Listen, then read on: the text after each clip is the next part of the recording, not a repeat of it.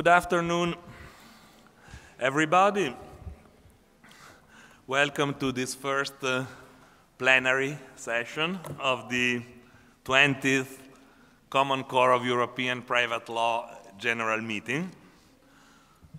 20 years is a long time, and uh, it's uh, you know very very nice to see that uh, the project is still going, and it's going well. This morning we had uh, three very interesting and productive working sessions uh, at the campus Luigi Einaudi of the University of Turin um, uh, on property contract and tort that will continue tomorrow morning in separate groups according to the arrangements that were made. And then we will re rejoin here tomorrow for the final, uh, for the final um, plenary session at, at 11 o'clock. So these are the two moments in which you have a chance of being all together. And it is uh, now traditional, the first day is uh, devoted to um, a topic. And this year the topic is uh, um, the legal culture of European technocracy. Uh, it is a great honor to have uh, some extremely distinguished guests with us this morning.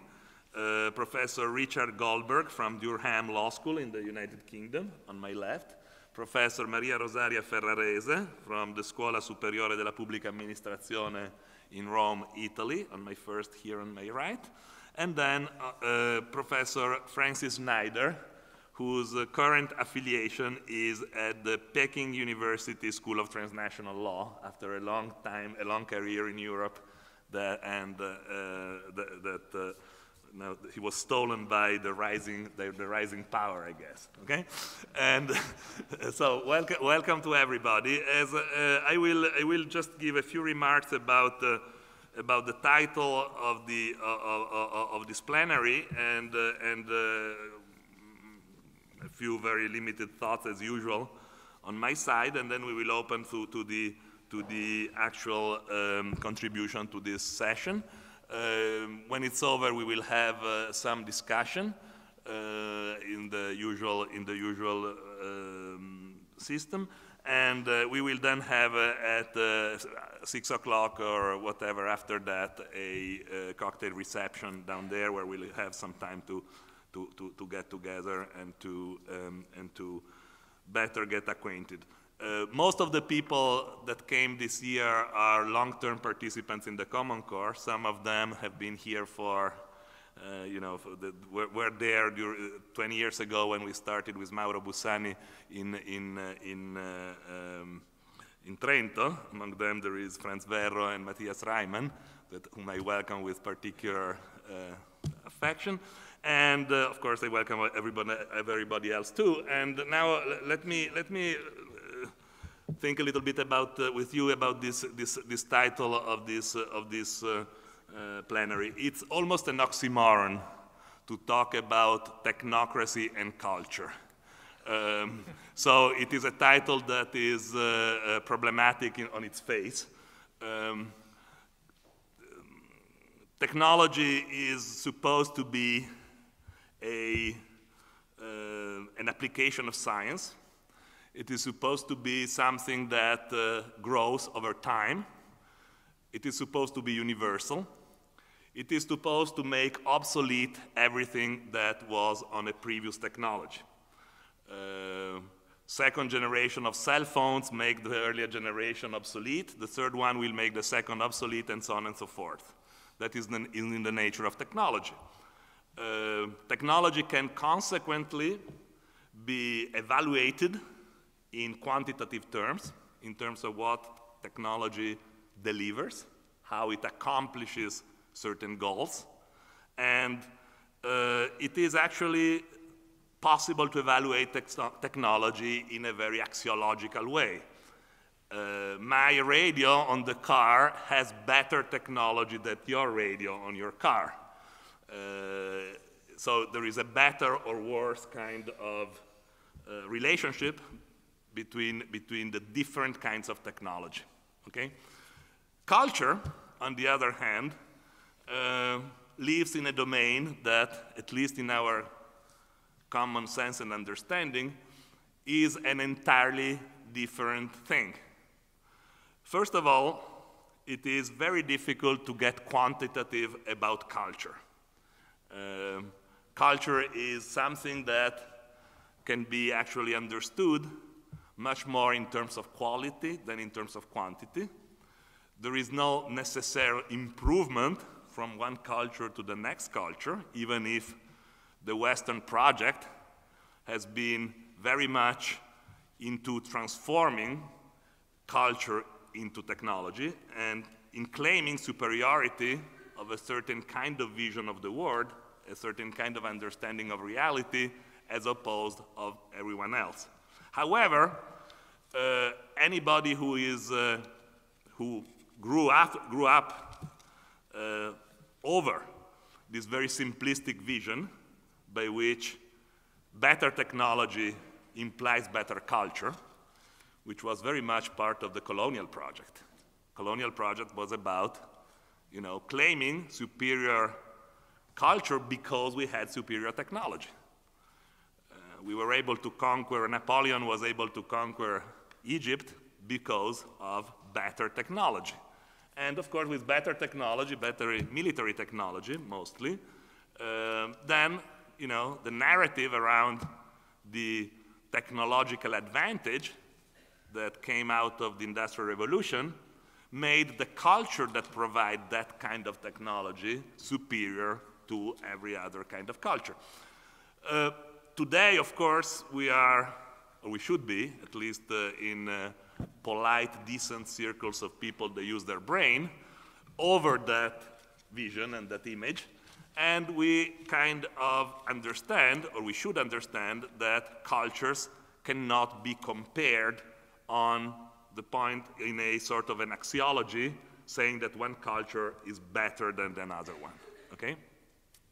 And to be true, uh, to be sure, even in the law, um, some of this tension between culture and technology, these sort of different domains in which culture and technology uh, live, or should live if we try to understand them in their nature, has been mixed up quite a bit in these last hundred years or so. And you know, the European Union, the European project, the project of unification of Europe, uh, certainly made the technological component of the legal system, that is to say, an approach to the law in terms of problem solving of specific technical issues that society has to face, becoming pretty much dominant in the general vision. Uh, when we talk about technocracy, therefore, when we talk about the legal culture of the, uh, of the European technocracy, we mean that by a claim of using the law as a technology in the process of constructing institutions, uh, power gets centralized in certain institutions themselves. Technocracy means power of technology. And power of technology, when it comes to a domain of social relationships, such as the building of a European system is, means basically that one certain, one particular vision uh, gets over every other alternative vision to create some sort of single thought that is recognized, at least by those that participate in that game, as superior of its alternatives. In comparative law, we have been very busy over the decades of our discipline uh, to talk about legal cultures. Comparative law has been growing from a formalistic, black letterish, doctrinal approach such as the one that was at the origins of our modern conception of comparative law earlier at the beginning of the uh, 20th century, the famous Congress of Paris, we've been slowly, I would say very slowly, moving away from that kind of a doctrinal approach. And in doing so, we've been trying to take into consideration the fact that the law is actually much more of a rich uh, artifact, uh, sharing quite a bit with culture and maybe not sharing so much with technique and technology. So comparative law moved away from an earlier very doctrinal formalistic approach all the way through a more culturally sensitive approach to the law itself through you know, years of studies and understanding in which certainly the formalistic original imprint remained very important, but that was also producing a quite important critique. Um, if we think about uh, the origins of the Common Core methodology, just to talk about our own things here, uh, back in the 50s, that was an attempt to reach a richer, a thicker understanding of the law than the one that was used by comparativists before. When the functional method was elaborated and introduced at the Cornell seminar and then in the long tradition that followed the uh, footsteps of, of, of Rudy Schlesinger and of the other functionalist comparativists, the idea was that the law was actually something that can, could reach different results by means of a very various uh, number of sources that play out in different ways, some of these sources being actually conscious, des designed structures, and other being legacies of the past, and sometimes of the even very ancient past.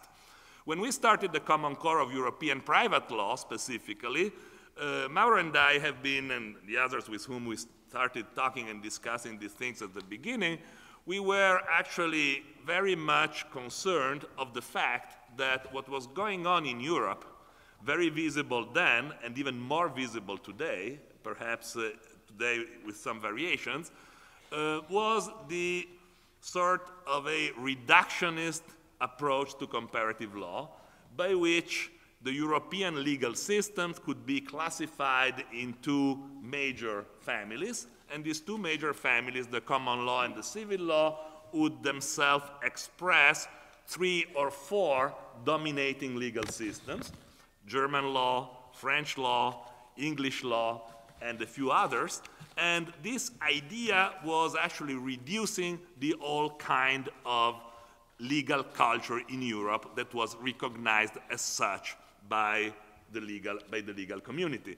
And when we attempted to understand European private law as a, at the time 17 legal system enterprise and today 28, was exactly to say, well, you know, we need actually to consider all these variations, all these country-specific legal cultures in a position of equal grounds, in a position of considering them all on a, as, a, as possible contributors to a framework of European law that is rich because it's enriched by a lot of very different contributions from very different countries. And in fact, this issue of legal culture became, over time, a quite important contribution of comparativists to our discussion in comparative law. Uh, even to some extremes. You know, sometimes there has been comparativists claiming that legal systems could not be compared because they were coming from two different cultural understandings of the law, that comparative law was necessarily an hegemonic uh, project because it would actually erase the kind of differences and the kind of subtleties that you can understand only by deep participatory observation. There has been a kind of a rich phase of that kind going on. There has been also, in a, a moment, in a specific historical moment, that is uh, the moment in which uh, the Berlin Wall fell. Actually, today is the 20th anniversary of the of the Common Core. It's also the 25th anniversary of the fall of the Berlin Wall. Uh, and in, in, especially, you know, in the, in the first years after the fall of the Berlin Wall, there has been a very visible uh, tensions within the European legal systems to safeguard something that was considered culturally specific and that we were not really willing to lose against the European technocracy in Brussels. If you think about the work of some earlier scholars in the discipline of the people that were talking about the usus hodiernus pandectarum, uh, like uh, uh, Reinhard Zimmermann and others, the whole point was to safeguard certain kind of cultural aspects of the law that were to be in a way maintained in a, some sort of Savignian way of the evolution of the legal system with the law as a product of the Volksgeist of the different places, as opposed to a European project that was going more and more in the direction of producing a unified technocratic uh, building. Um, there was a time, and you remember after 1989 when the European Parliament recommended for the first time codification of uh, European private law, and then later in the early part of the 90s, there were uh, quite a number of meetings, uh, especially the meetings about uh, whether it would have been a good idea to codify or not at the European level, in which the cultural claim as some sort of non-changeable uh, aspect of the legal systems, of the dominating legal systems, was coming up very clearly. I remember myself meeting in 94, if I'm not wrong, right the year after the Common Core was born in, uh, in, the, in The Hague, in Holland. There was a big conference about European civil codification, and at the time, every single jurist was actually claiming that his own understanding of the law was actually the European understanding. I remember that in that conference there was a French guy who gave a very good talk saying that in fact we already have a European code and that the European code was the Code Napoleon because not only was European, what was global, and then there was a very distinguished uh, German colleague that said that we already have a European civil code because the highest example of the European legal culture is actually the Allgemeiner Teil, the German BGB general part, and therefore it will be enough to translate it in the different languages to have it becoming the European, the European civil code. And also, you know, the Dutch guests at the time, they had a brand new code. They said, well, you know, we need a cosmopolitan code in Europe, and we in Holland happen to have one. So why don't you just get it, and, and here you go, you have the European Civil Code. And then there was the famous moment of my colleague and friend uh, Gandolfi from, uh, from uh, Italy that I was there sitting saying, I wonder what this guy is going to tell now. And he was pretty smart. He said, well, you know, sometimes codes, codes are like living entities. And some of these codes would, are too old. The French and the German are too old, and some of these codes are too young. The Dutch civil code is just too young. Then there are middle-aged codes those that actually proved to be young enough to be still energetic, and the Italian one happens to be actually in the right age. At the time was 60 years old, you know? So there was, and then of course there was uh, our other colleague and friend, Basil Markesinis, who said, talking on behalf of the common law tradition, that this whole idea of codification was just stupid, that Europe should be a there was, uh, we, we should work for a common law a common law of Europe. Okay? That was a moment in which legal culture, in a way, was extremely nationalistic, highly chauvinistic, and was not really ready to move ahead in the project of building something of a cosmopolitan nature. Um, unfortunately, this uh, cosmopolitan project, the idea of trying really to understand from the differences between legal systems, what is already in common and what would be something that fits this sort of broader and larger strange entity, which is a market of a half a billion people, uh, which is Europe. And instead of doing that, we've been actually fascinated by the uh, wind arriving from the other side of the ocean. And just at the end of the 90s and the first part of the current century, uh, it was a time in which, uh, in the European legal culture, uh, the technocratic approach produced by the Anglo American law and economics functionalist turn became very fashionable. That was the time in which scholars started to talk about competition between legal orders with this sort of neo Darwinian vision of the law as the outcome of a competitive model in which the fittest will eventually survive, and the fittest tends to be all the time the more friendly to capitalism. That happens pretty often. Um, later on, you know, we had the, in the same period, we had the time in which we gave up the idea of codification, and we started saying, well, maybe we don't need codification, we need a restatement. And, you know, the restatement, of course, is a typically American way to deal with the differences, marginalizing them in some way, and granting, in a way, to legal culture, to the culture of American national law schools, predominancy amongst the sources of law, because then the specificities of the states are just left left behind. And that was the time in which restatement of European law became an important and, and a, a, a, kind of an important and important project. Similar time was when people were talking about model codes, about the idea of producing, and this is where we are now, I would say, these ideas of producing codes of law that are scholarly products of some sort of cosmopolitan nature, but cosmopolitanism in that kind of projects becomes pretty much groups of self-appointed leading uh, experts of the different legal systems getting together and finding some sort of common ground that it means to say to create a legal system that ends up being really a mouth without teeth because you know what you find in common are just so to say the very basics of a system of incentives that works through in the same way in which the national private law work as default systems.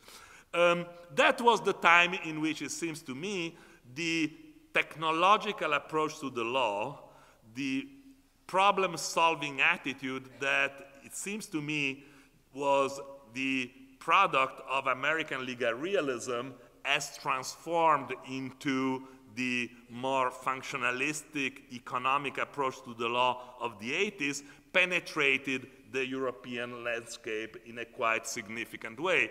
And that was the time in which, it seems to me, the legitimacy of the European law became something that could be measured in terms of transaction cost reduction. In other words, the European legal system was to be considered more and more desirable as long as it reduced the transaction cost from, for internal dealings of uh, business in one uh, country with another, another country. So the technocratic approach to the law seems to me is actually nothing that is in, per se a technology, because we are talking about human institutions, but is something that actually uses the technological rhetoric in order to gain currency in constructing a legal system that is market friendly and open for transnational, transnational business. Um, of course, you know, this idea of distinguishing technology from science uh, is itself as the idea of distinguish law from economics or science from culture, you know, this sort of very, this very model of separating fields and making ultimately something in the social domain that is non-political is not at all a sort of uh, condition of nature. Is actually itself a cultural project. There is no question that the big separation between politics, law, tradition, the economy, religion, customs, and all of that has been part of a very clear project of keeping the political discussion outside of the law in order not to make the issue of economic and political distribution of power relevant at all in the discussion about the law at any kind of level. Um, of course, you know, all of these are things that can be questioned. We can be questioned how much non-political is a technocracy, and it seems to me that today we came to know that actually technocracies is, are quite political, are actually very political. They just produce a certain kind of politics that deploys certain kind of strategies in order to legitimize itself. And this is when the issue of the legal culture of the European technocracy comes out. Because in Europe, with the complete absence of an open political conversation at the European legal system level, an open political conversation that is carried on at the level of issues that regard politics at large, so with the maintenance of the political discussion and conversation at the state level, uh, what it is open there is a space of non-declared politics that still is at work as a chain of transmission for policies that are actually created at levels that today are much more economic than political. And this has changed really pretty much the very idea of statehood in these last 20 years, and also the very idea, I would say, of local politics. Uh, the local institutions that, for example, in this country were extremely important in the construction of the national identity and in the construction of the protection nets and of the welfare systems have been transformed quite dramatically into places of execution of policies and orders that arrive from the top down and are just transmitted to the bottom by means of hierarchies that are justified as more efficient and smooth than otherwise the political process will be. So in a sense, you know, it seems to me that this culture of technology within operations and activities, those of a bureaucracy such as the European one, uh, that deals with actually transactions that have to do with human beings, is ending up actually maintaining a system of power that marginalize very much the countries rather than united them. And this is something that, it seems to me, a legal culture should overcome.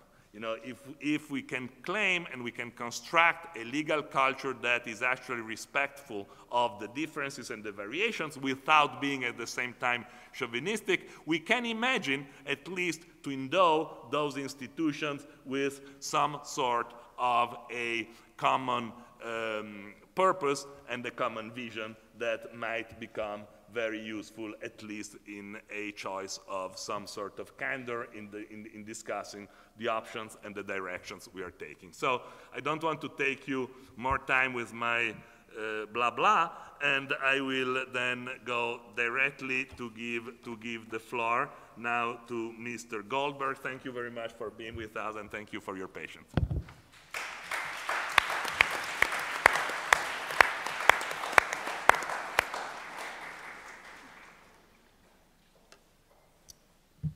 First of all, I just want to thank Ugo Mattei and Mauro Bussani for inviting me today.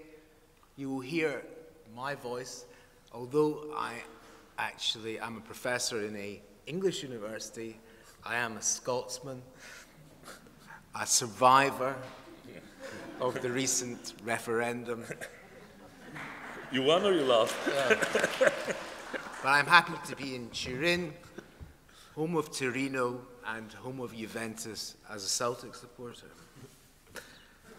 But we move swiftly from football to a different culture, a different religion perhaps, which is looking at this concept of technocracy, which was raised by Ugo.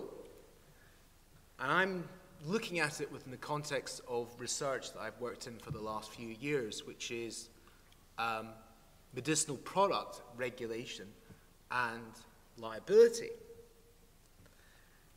I take the view that it's one of the most important areas in European technocracy and that it has a sort of legal culture of its own, the regulation of medicinal products in Europe. Now, technocracy gets probably a legitimate bashing, um, and I expect it to be bashed to bits uh, this afternoon. My initial approach was to try and slay the technocracy dragon in some kind of Wagnerian Rheingold scene as some kind of figure like Siegfried. Um, I suddenly realized that it's not as simple as that within particular areas, including my own. I have to concede that there is some form of justification for a technocratic approach to the area that I am currently researching in, European drug regulation. If one defines technocracy as a system of governance by an elite of technically trained experts, that certainly seems to be consistent with Ugo's emphasis of power being centralized in certain institutions.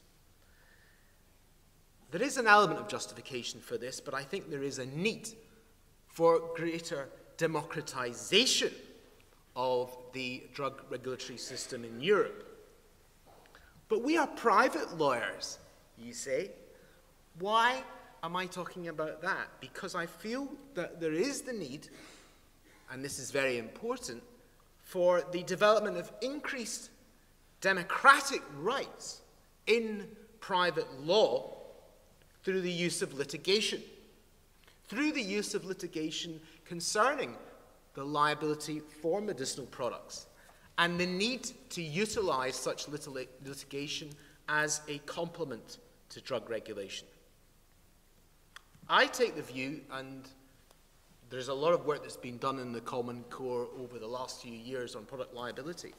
I take the view that there is a need for doctrinal coherence of the law specifically in relationship to medicinal product liability, um, and that there is a distinction developing between that and the general common core work in the area of product liability.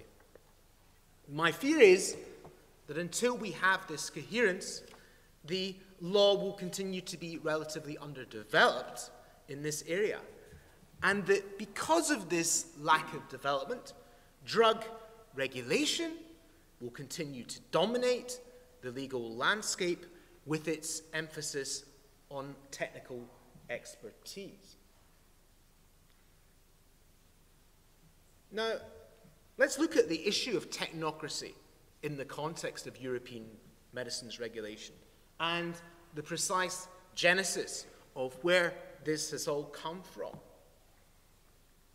I think it's useful when you look at or you try to understand the legal culture of European technocracy to look at Professor Roger Brownsword's discussion of the role of public ordering or governance of human societies. In terms of his categorization, medicinal products have both ex ante and ex post elements of such ordering. The ex ante element in this context refers to the pre marketing authorization stage of drug regulation, whereas ex post sees the operation of both product liability and the law of tort or delict to provide for compensation. Where are the origins of this ex ante element of public ordering? They have their origins in the tragic events concerning the drug thalidomide or Contergan.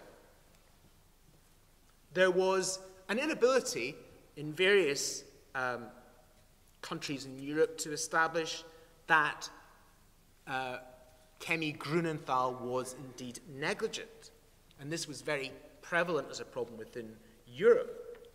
As a result of this and the inadequate regulatory machinery which was in place at the height of the thalidomide disaster in 1962, various countries, uh, including the UK, but in Europe more generally, uh, came together to establish a directive, Directive 6565 of the 26th of January 1965, which is basically the beginning of drug regulation throughout Europe.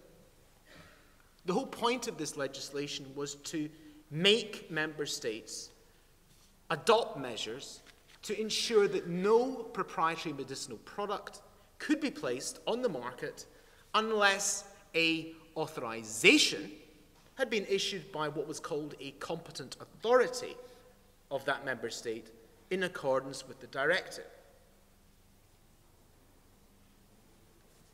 Of course, competent authorities link in with the idea of certain institutions where power gets centralized. And as in the United States, where Daniel Carpenter has clearly demonstrated in his book on the Food and Drug Administration, where you had a development of reputation and power, the FDA, taking place in the early 1960s. We had a similar concentration of the development of reputation and power and a corollary with that, a, a technocracy developing in the whole field of the regulation of medicinal products. And it was effectively created in Europe at that time. It exists at basically two levels. It, it, exists at the national institution level, the issue of the, the competent authorities, basically the regulators within the individual member states, and also at supranational level as well, with the European Medicines Agency, which is conveniently based actually in London in Canary Wharf, which of course was all where the trouble started in the banking crisis. Or was it America or whatever? What's the sort of justification here for this technocratic approach to drug regulation on a European level? Well, it's a view, basically, it's a view that drugs or medicinal products, as they are termed in European law, they are complex. And that pharmaceutical regulation is a techno-scientific activity, necessitating the making of decisions by experts. And by virtue of that, in these circumstances, the view is taken that the public is incapable of contributing to such technical decisions. And to extent, to a certain extent, this view no longer holds water. Most of the arguments against this approach, against a technocratic approach, have actually been developed by sociologists. It is they that became interested in the issue of technocracy and drug regulation. So, for instance, Davis and Abraham have argued that the degree of secrecy surrounding the regulation of medicinal products in the European Union, as well as America, is detrimental to both science and democratic accountability.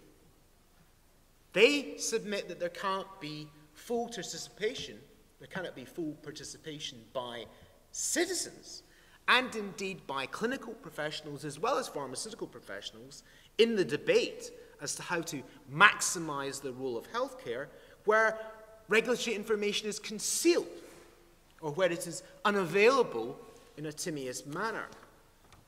So, to a certain extent, the EU has responded to this.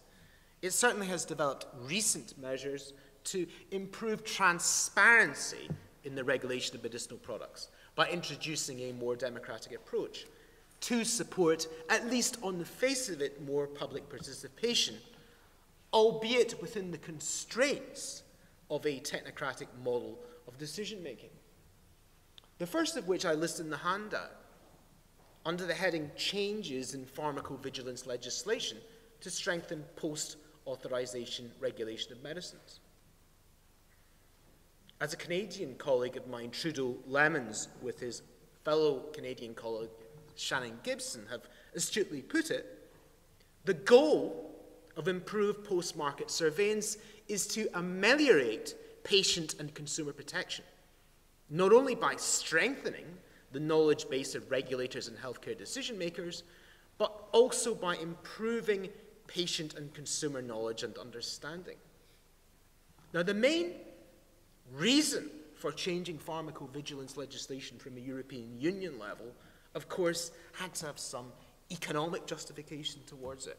And the main reason that they gave was the increased burden of adverse drug reactions. So the public health burden of adverse drug reactions amounts to the death in hospital of about 100,800 to 197,000 annually in the EU, which is costing 79 billion euros, according to a Commission staff working document. And this is an annual figure.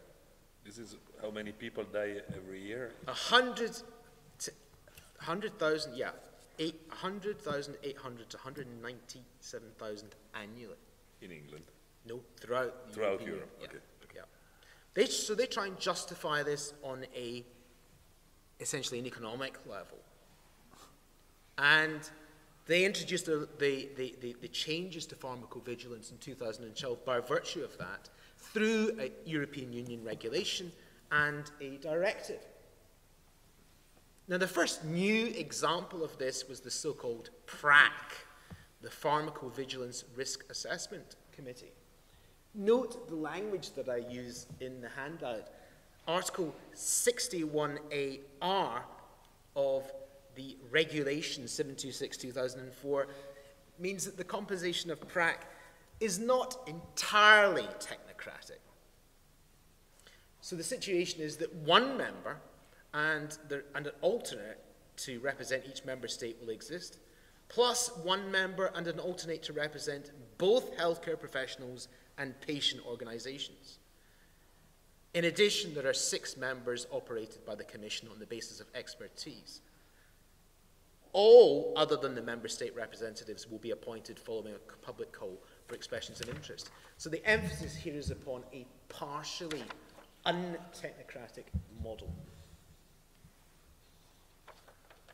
And there are other examples of this improvement in transparency. There is the obligation to set up a European medicines web portal and on national competent authorities for national protocols, which I won't go into in detail, but they do demonstrate by the lists of things which are the minimum content for European protocols and for national protocols, things that are designed to increase transparency.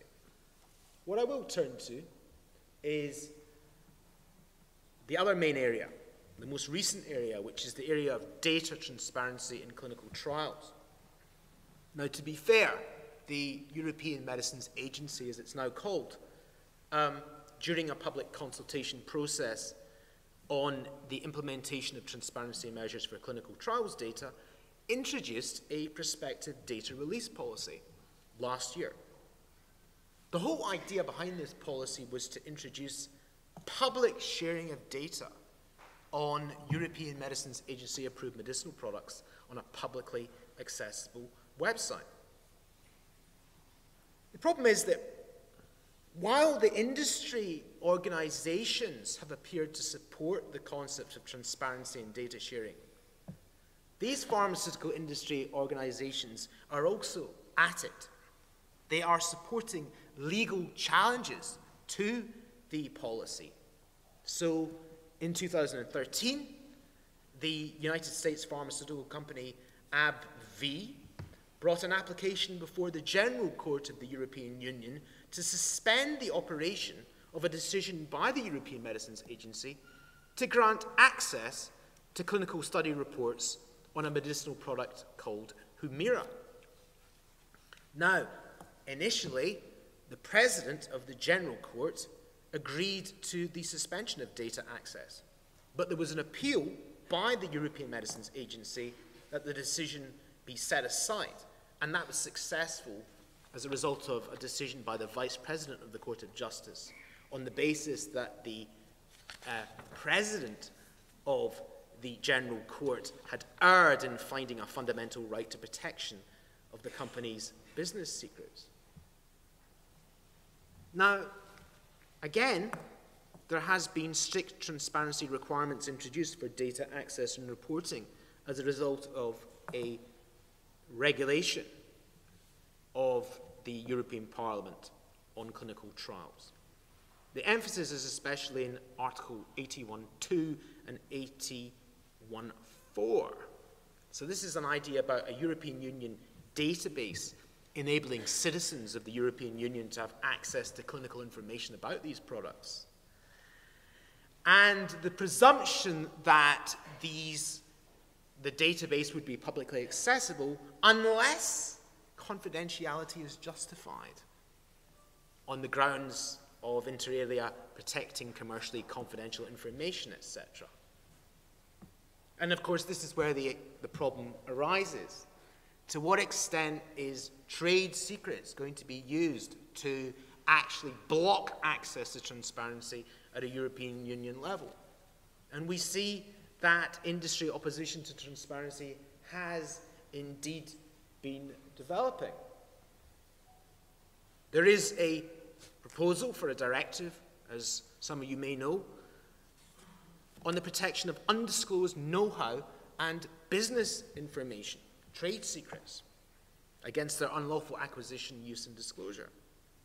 The European Federation of Pharmaceutical Industries Associations has very much welcomed this because they talk about the need to protect proprietary know how and business information from misappropriation. And they talk about it being protected at every stage in the drug development process from preclinical chemistry to manufacturing control, as well as at the clinical trial phase. Now, my position in relationship to this is that you can't abolish technocracy and drug regulation completely. I don't think that it's so much the existence of the technocracy per se that's the problem. What is the problem is the need for transparency in its operation and independence from the pharmaceutical industry of the regulatory agencies that actually utilize the technocrats in decision making about regulative innovative medicines. You need to have consumer organizations, you need to have public health advisory groups and patient groups involved in regulatory decision making. However, even those like Abraham, who's a sociologist at King's College London, concede that instances of public participation and the invocation of patient rights have also got to be subjected to clinical scrutiny in the interests of uh, public health and social justice. But what has this really got to do with us um, private lawyers, as private lawyers? What's the concern here? Well, I try and encapsulate this into the slide that's in front of you. I argue that the continued legitimation of the technocracy in European medicines regulation is being encouraged by the pharmaceutical industry itself, and that there's an expense here.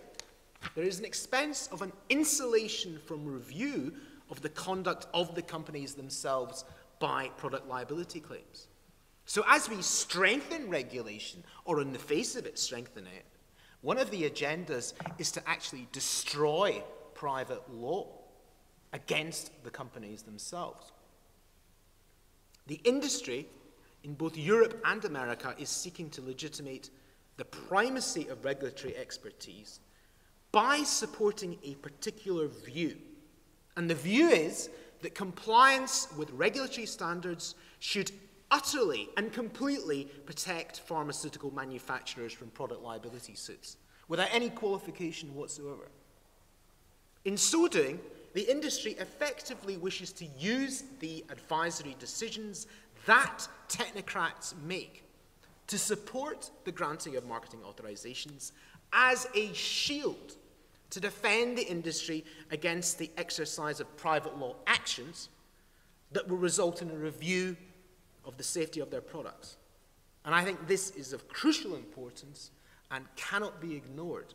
And it's this issue that I want to talk about before I finalize the remainder of my talk. Essentially, it's an issue as to whether compliance with regulatory standards should provide a complete defense to liability for defective medicinal products. It's an issue which continues to command support from the pharmaceutical industry and appears in studies on the product liability systems. It appears in the five yearly reports of the European Commission. The two most recent reports regurgitate the whole view. If you take the most recent report, the fourth report,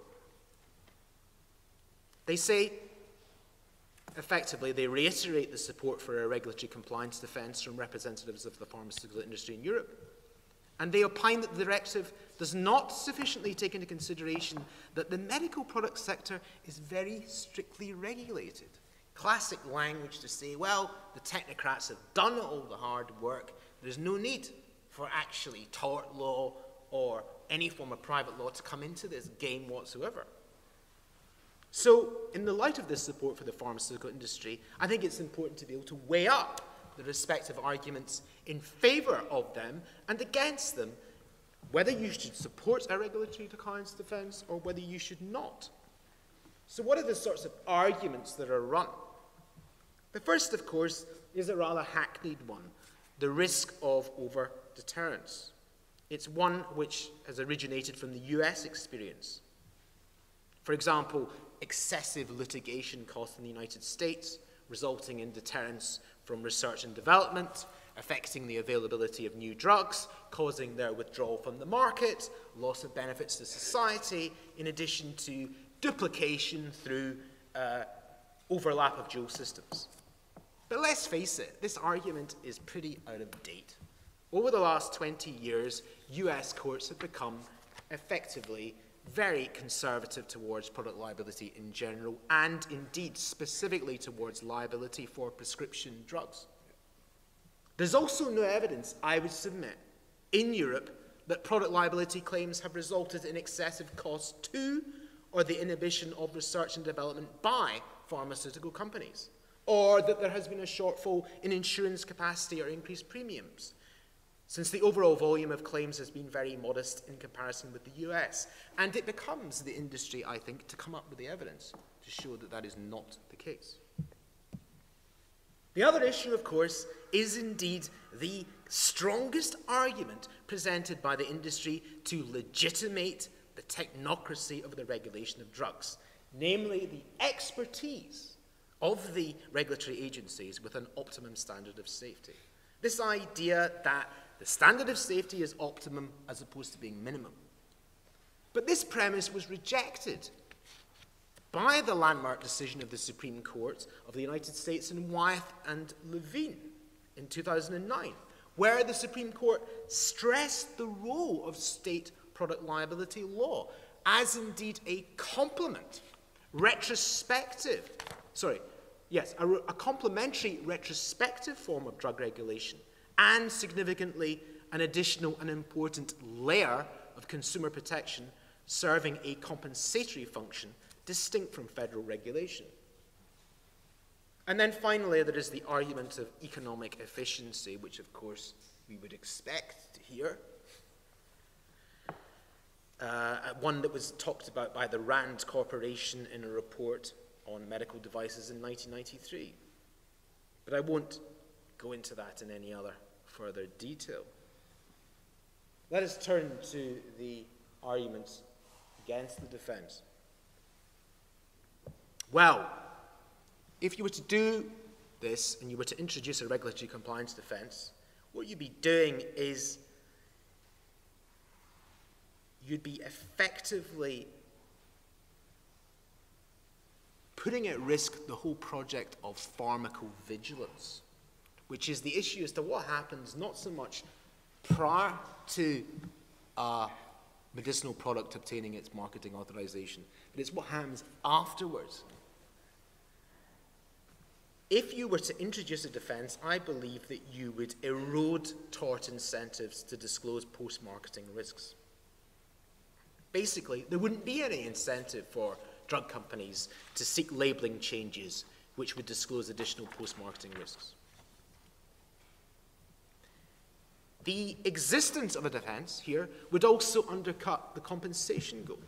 It would probably result in a void of compensation, which would actually shift all the pressure in this area to the actual regulators themselves to minimize injuries from products passing through the pre marketing regulatory scheme. So that would probably, at the end of the day, do more damage to the pharmaceutical companies who are constantly pressing, actually, the regulators for saying there is too much time and regulatory lag in the pre-marketing stages. But the biggest reason, in my view, um, for not having a regulatory defense, defense is the deficiencies in post-marketing surveillance systems. So if you have such deficiencies, this, of all things, shows the potential danger of adopting a technocratic regulation system of medicines as a justification for a regulatory compliance defense. Now, America's got its own position, which I won't obviously adumbrate on in detail, but a lot of problems occurred within the United Kingdom, within its own member states' authority, the uh, the uh, MHRA, who failed to make uh, evaluations of a particular antidepressant drug called Seroxat, paroxetine. A lot of reports arose, albeit anecdotal at the beginning, of akathisia, which is extreme agitation, and suicidal behavior in children and adolescents who were given the drug. Now, it was difficult to distinguish between the underlying depressive illness and the drug induced injury. So the manufacturer and the regulators initially felt there wasn't enough epidemiological data to have a signal which was enough to actually result in the drug's withdrawal. Then, of course, the signal comes. There is sufficient evidence at a particular stage to justify contraindication in the case of children and adolescents. And what happens, of course, is that the industry did nothing to reveal this information. There was a failure to notify the licensing authority, and indeed, the licensing authority in the United Kingdom tried to instigate a criminal prosecution for the alleged breach of medicinal product safety regulations. While it was conclusively established that the manufacturer had failed to disclose studies of the drug's effects in children and that there were gaps in the safety regulations, the government lawyers decided that the case could not proceed to criminal prosecution. Now, this generated a lot of academic criticism of the MHRA's failure to scrutinize licensing data. Um, very similar developments took place in relation to the United States with a drug called Avandia. And then we had the changes to pharmacovigilance legislation that I've talked about. But a lot of these uh, reforms have been subject to criticism. When you actually look behind all this issue of transparency, there actually is a lot of criticism about the database being truly accessible, the EudraVigilance database to health professionals, scientists, and the public. And I think the biggest problem actually is the potential conflict of, it, of interest that exists. Because drug approval on the one hand and pharmacovigilance on the other are two separate things, but they both function under a single body, a single technocratic body in the European Medicines Agency. And there is an argument that there should actually be a separate technocratic body, the Drug Safety Evaluation Agency for Pharmacovigilance. The bottom line is the recent scandals, I think, really suggest that this is not a good idea to actually adopt a regulatory compliance defense. I take the view that if you introduced a defense like this, the whole inquiry would be shifted to the issue of non compliance, proof of which would add to the complexity and expense of the process. In short, I argue the regulatory compliance defense fails to address the challenges of post marketing surveillance. Far from eliminating the role of the litigation system, I think there should be greater structural links between it and the regulatory processes of the national competent authorities. But this is the nub. The regulators, and they haven't done this before, should use each opportunity of private law litigation as an opportunity to reassess its determinations on drug safety. And it is in this way that private law can operate as a means to dem democratize the existing technocratic system of drug regulation. The issue remains, however, that there is doctrinal incoherence in decisions concerning medicinal products, and there is some argument that one may need to establish a common core in that particular field. Let me turn to the final element of my talk today, which is doctrinal incoherence in European medicinal product liability jurisprudence.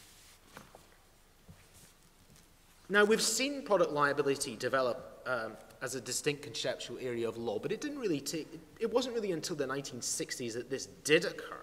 And it actually occurred through comparative law.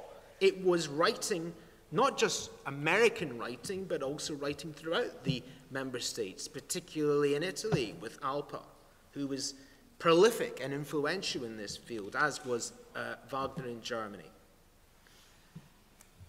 But the big thing that changed the whole area about reform was the series of major health disasters, particularly Contergan and thalidomide, which led to the Council of Europe initiative, as well as the ultimate development of the Product Liability Directive.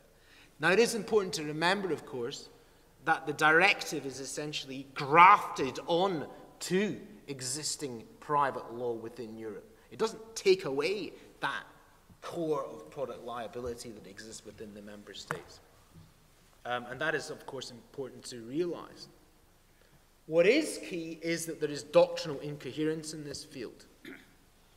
The problem of establishing that a medicinal product or a pharmaceutical product is defective is, in my view, different from establishing that a Coca Cola bottle is defective. Whether a it caused the damage is different and more technically complicated.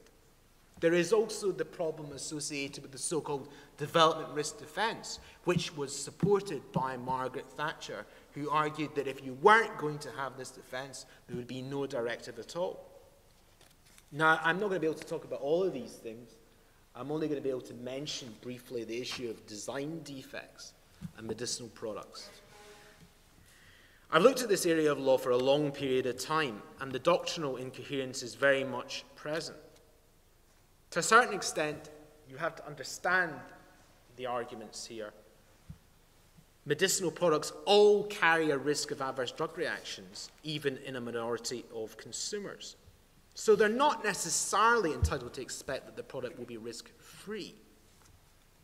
The issue, of course, is although the directive adopts a language of expectation, can you accommodate risk utility or risk benefit within the framework of the directive? And I think there is an argument for supporting this. It really, if there is to be any meaning given to allegations of defective design of medicinal products, in my view, you have to look at the benefits and disadvantages associated with a product. So, a good contemporary example is the measles, mumps, rubella vaccine, which we know has been associated with litigation concerning autism, virtually all of which has been rejected.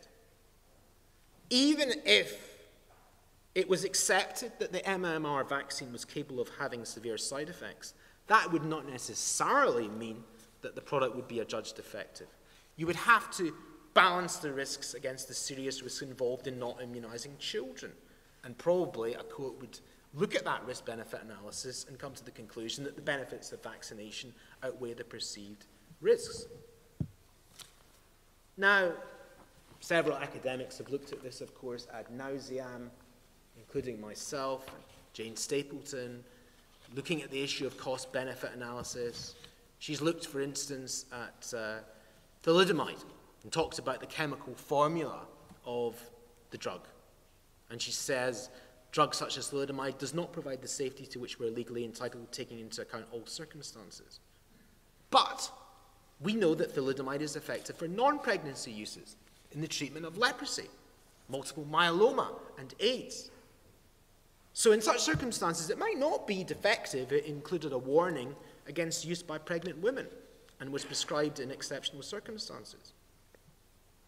Can we adopt, for instance, a Gestalt judgment of defectiveness by comparing the drug's overall benefits and risks and declare a drug defective when its risks outweigh its overall therapeutic benefits? That, the so called macro balance test, has been subject to criticism. Now, of course, the Americans adopted a approach of so-called net benefits. Um, and actually, in the restatement, which of course is a dangerous word to use at this meeting, third of products liability, section six deals with prescription drugs completely separately um, and supports the idea of actually so-called net benefit. My sense is that an eclectic approach should be used, a one which combines the so-called Owen, the, the, the, the, takes into account the criticism of, of, of authors like Owen, Henderson, and Twerski, and combines macro balancing with consumer expectations, and also looks at all circumstances in terms of Article 6.1.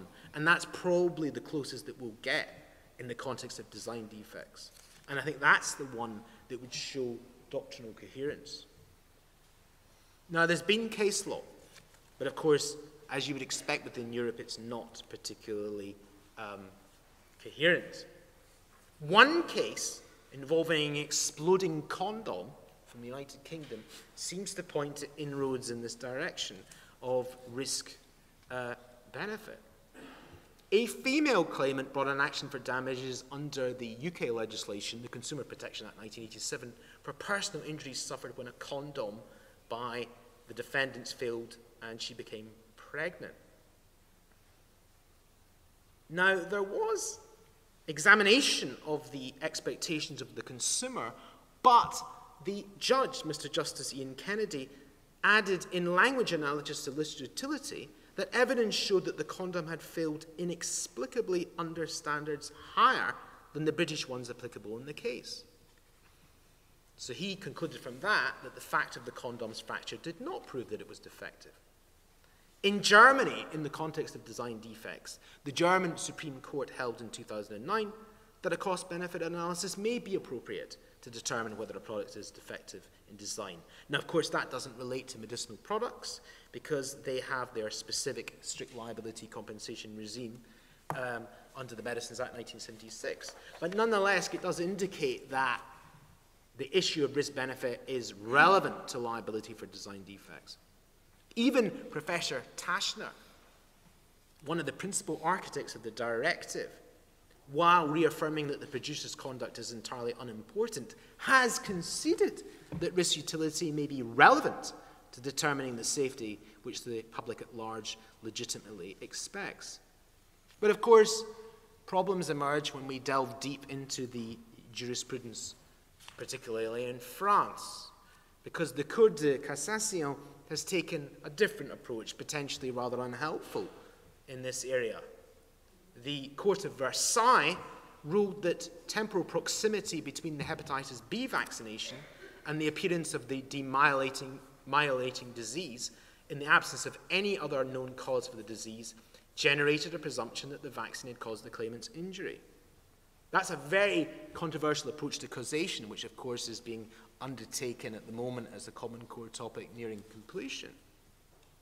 But what happened was, in that case, the appellate court rejected the claim uh, against the vaccine producer by using a risk benefit analysis and concluded notwithstanding the position on causation that the vaccine was not defective.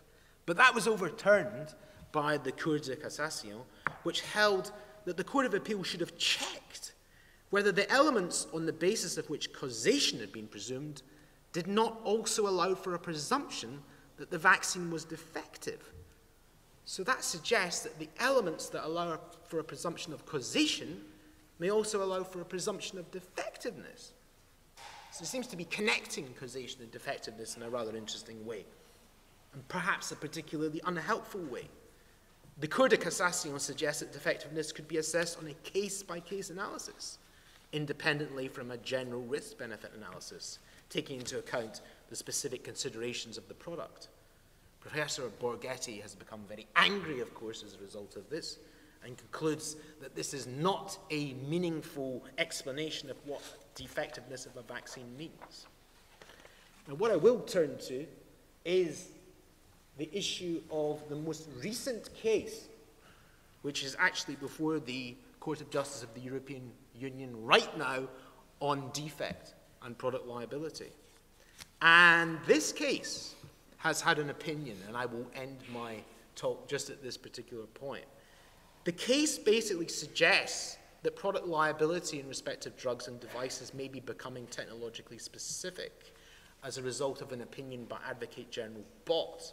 And it's on the meaning of defectiveness in Article 6.1 of the Product Liability Directive. It was a reference that was made by the Bundesgerichtshof.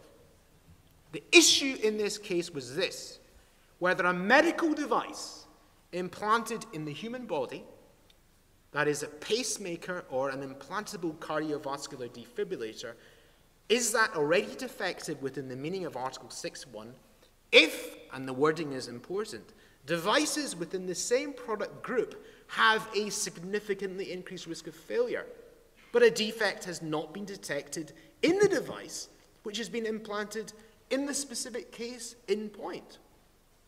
Now, Bot regards this issue as requiring a detailed definition of the term defectiveness of the product in accordance with the wording of Article 6.1, the expectations of consumer protection, and the inclusion, note the words, of union policies regarding health concerns.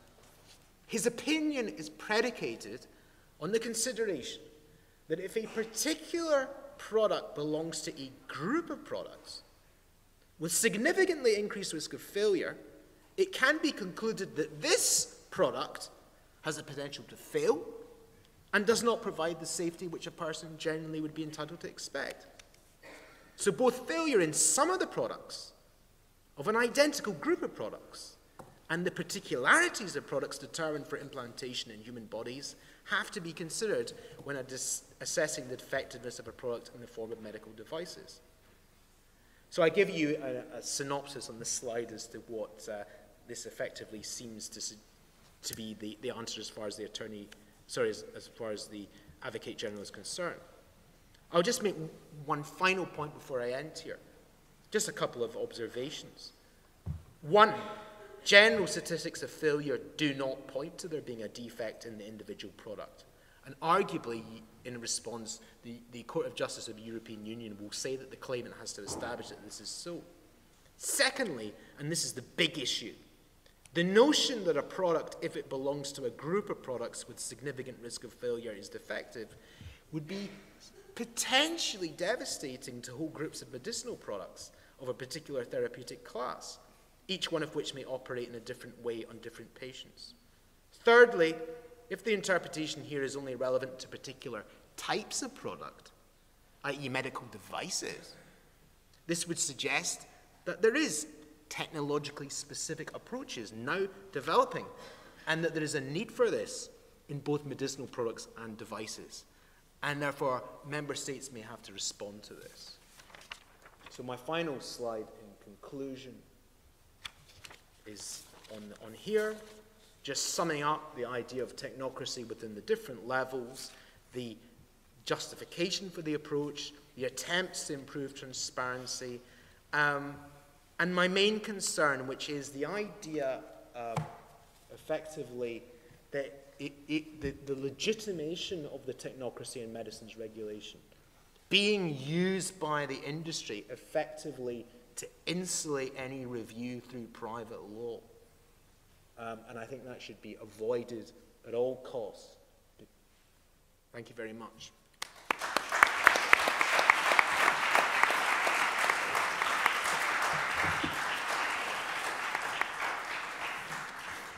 Thank you very much, Professor Goldberg, for this very interesting and detailed uh, case study that seems to me that you have, uh, you're still having quite a bit of faith in the courts and in the private law process, which, uh, you know, might be, might be well grounded or not. That's, uh, we, we will see in the future. But it's good to have a second, a second look by courts for sure. I was in the Church of the Turin's Shroud yesterday, and because of that, I came over with some form of epiphany to the idea that we could pray at least for decisions being more coherent.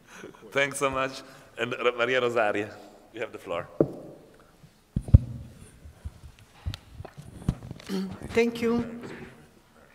First of all, let me tell how much I'm glad to be here, and I want to, to thank uh, the two masters of this uh, meeting, uh, Ugo Mattei and Mauro Bussani, uh, my very old uh, uh, university mates, colleagues,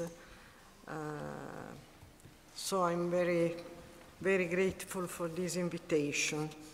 Uh,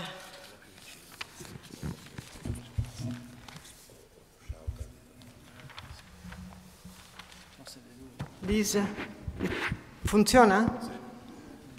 This invitation uh, was an occasion uh, to, to reflect around this interesting uh, theme of uh, bureaucracy, of uh, technocracy, I would like to say that a specter haunts Europe. Technocracy can be seen as a specter because it's not so visible. it seems to be very important, very present, but in the shadow. It's not very well known, but we can say that it is uh, well uh, documented in the literature, its presence, because we found uh, in reality a, a, lot of pages on uh, democratic deficit uh, in uh, European legal theater. and it may be can seem uh, a paradox that Europe, the cradle of modern uh, politics, uh, that uh, was defined by Carl Schmitt as the realm of uh, the action between two enemies, uh, amicus nemicus, inimicus, that just here it was conceived, this idea of te technocracy, which seems quite far from politics, uh, uh, quite aside from uh, the idea of a conflict uh, and quite uh, peaceful for uh, this reason. but the so-called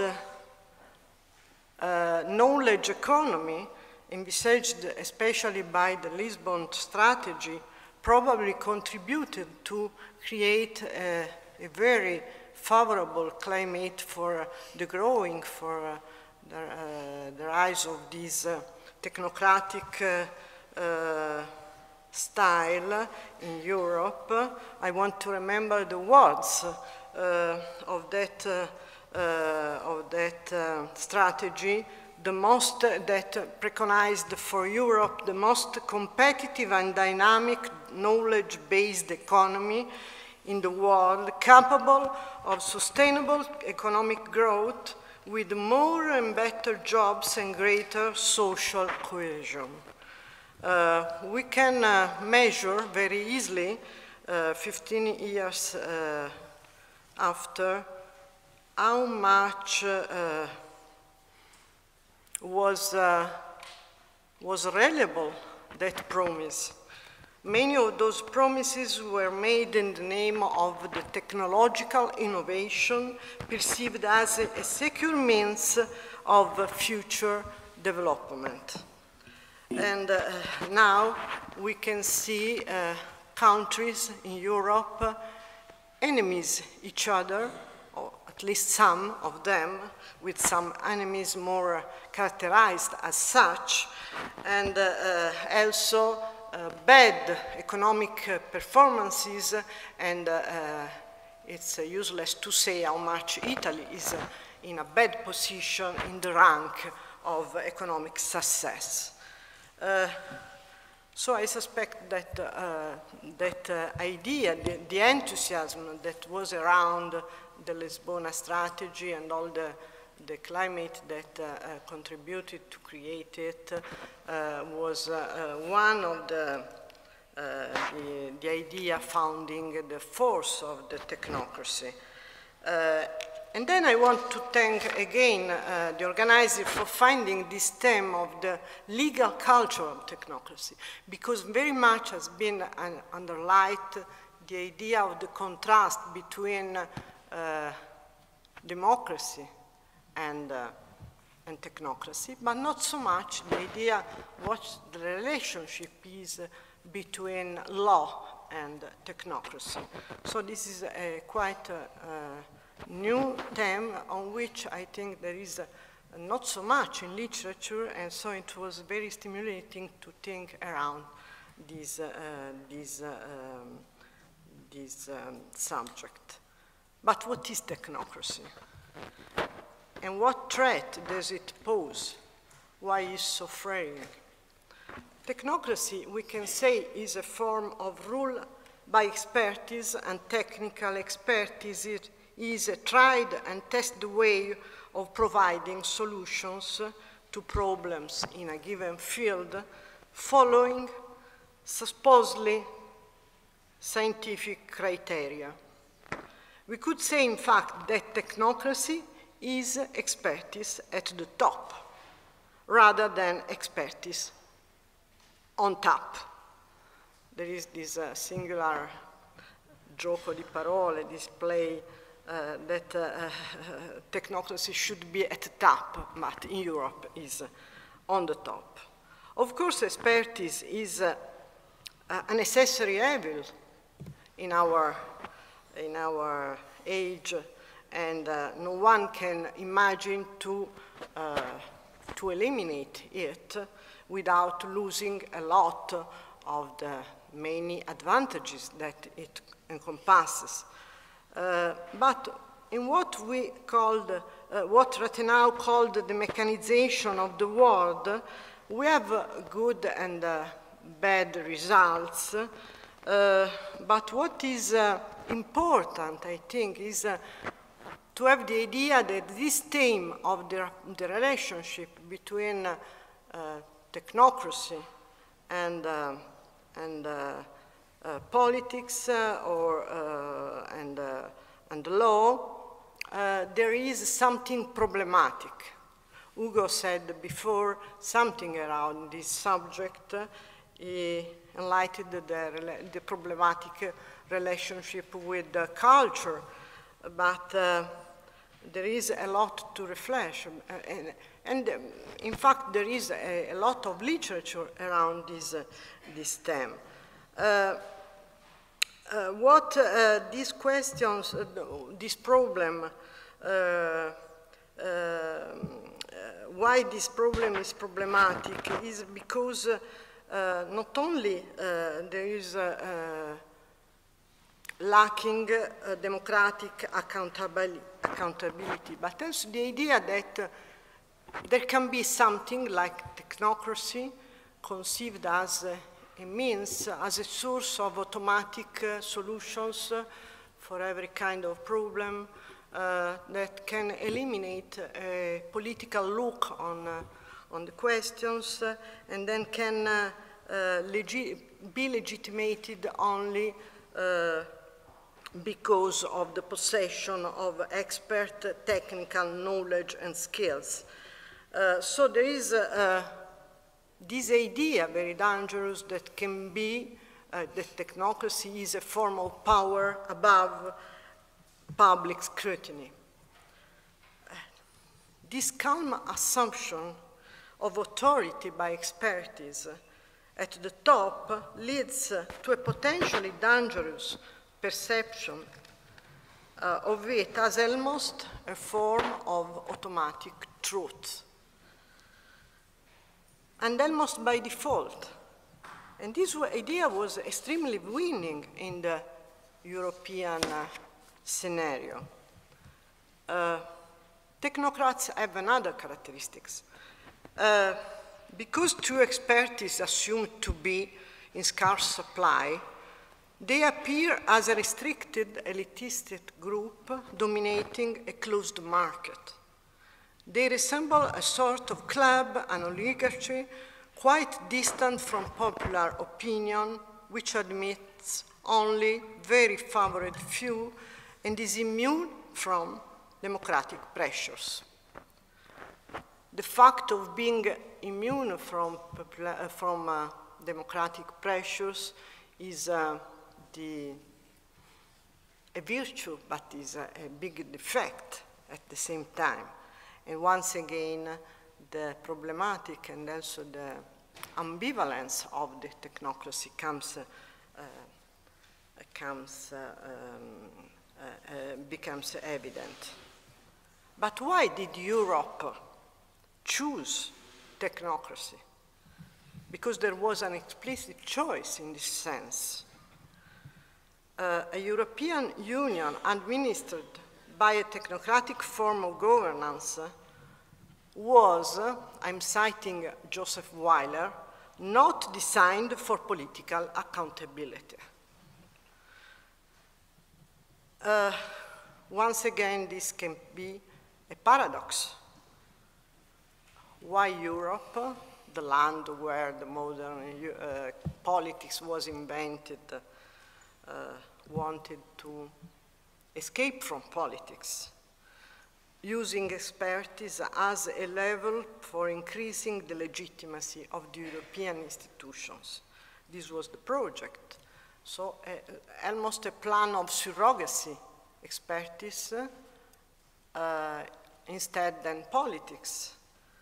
And uh, as suggested by Martin Shapiro in a very I found a very interesting uh, contribution uh, that probably some of you uh, know. The European choice from uh, techno mm, for technocracy was quite different from the US choice made when there was Franklin Delano Roosevelt, which was the time when uh, a form of technocracy uh, Uh, was uh, uh, launched in the United States with uh, a new prestige because uh, there was this myth of the le teste d'uovo, egg, eggheads. Um, so this was a, a, a call for a new kind of expertise that was absent in the American government, but that there happened under the strong political guidance by Franklin Delano Roosevelt. And then there was a second important difference, and that was the, the legal uh, scrutiny made in courts. Because uh, uh, that kind of technocracy many times was object of uh, some uh, some uh, legal uh,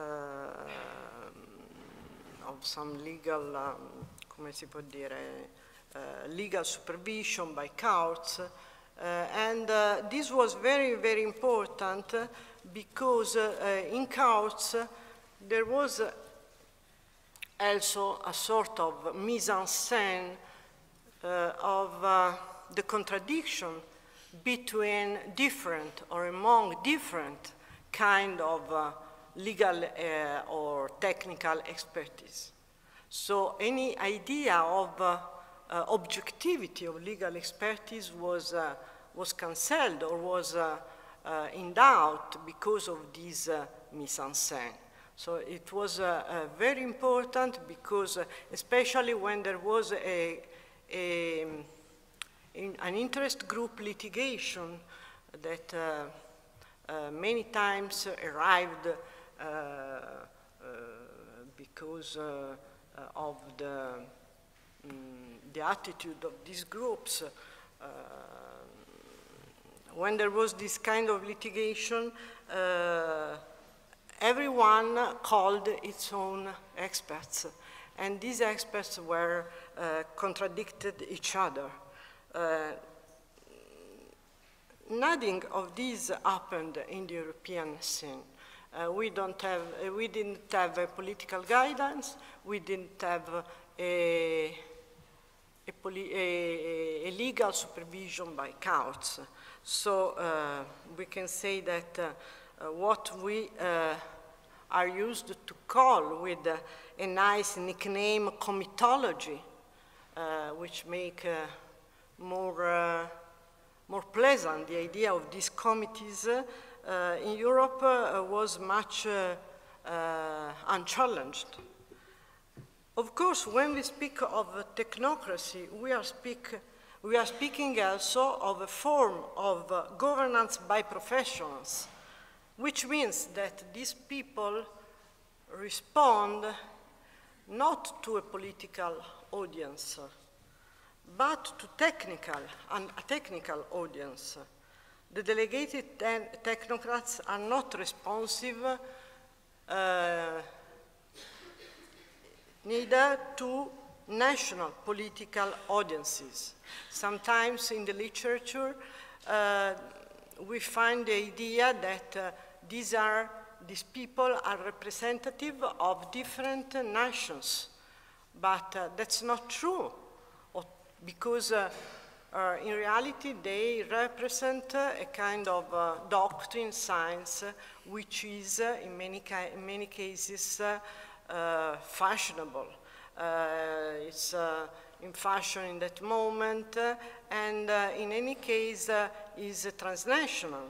So this, this idea too is not is not true, and these people um, uh, speak in, uh, in the name of fashionable theories, credos, doctrines. Uh, I, don't, I don't say that they don't, they, they uh, always say uh, stupid things, but uh, the idea that they are some, they are saying some form of truth is really um, to, be, um, to be contrasted. Uh,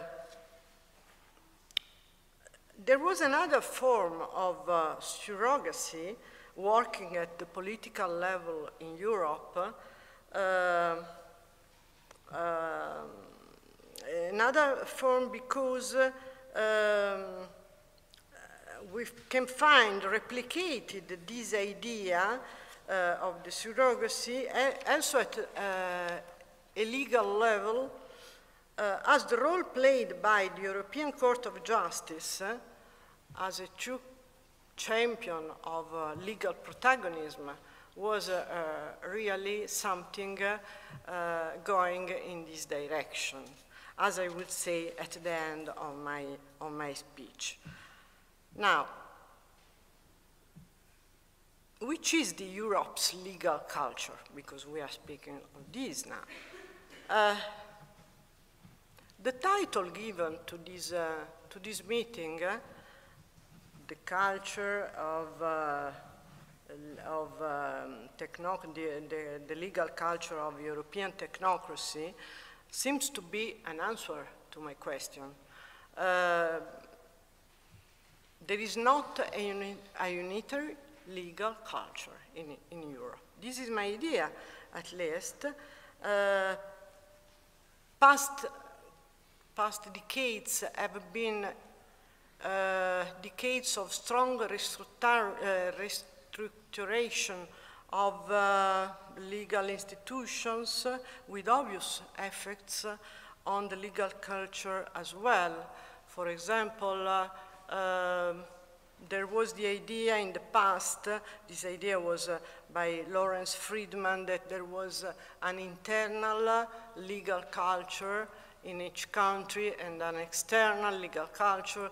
This idea now is uh, quite uh, weak because everyone knows how many forms of exchange between in interior and external uh, culture there are, how many spontaneous or not borrowing, how many forms of interiorization of legal, of external legal suggestions, and so on. So this, uh, this border, uh, internal, external, is very, very uncertain. Uh, for many years, we had this idea in the comparatists too because uh, of the idea of legal families, uh, which was uh, um, around uh, some very, um, very hard characteristics judge-made law on one side and legislative law on the other on statutes, statute law on the other side. But uh, uh, also on this level, we know how many changes we, we had. So a lot of things say that uh, we are not in that kind of, uh, of uh, old environment uh, and the idea Notwithstanding all these differences, uh, the idea of a unitary uh, legal culture was accredited many times.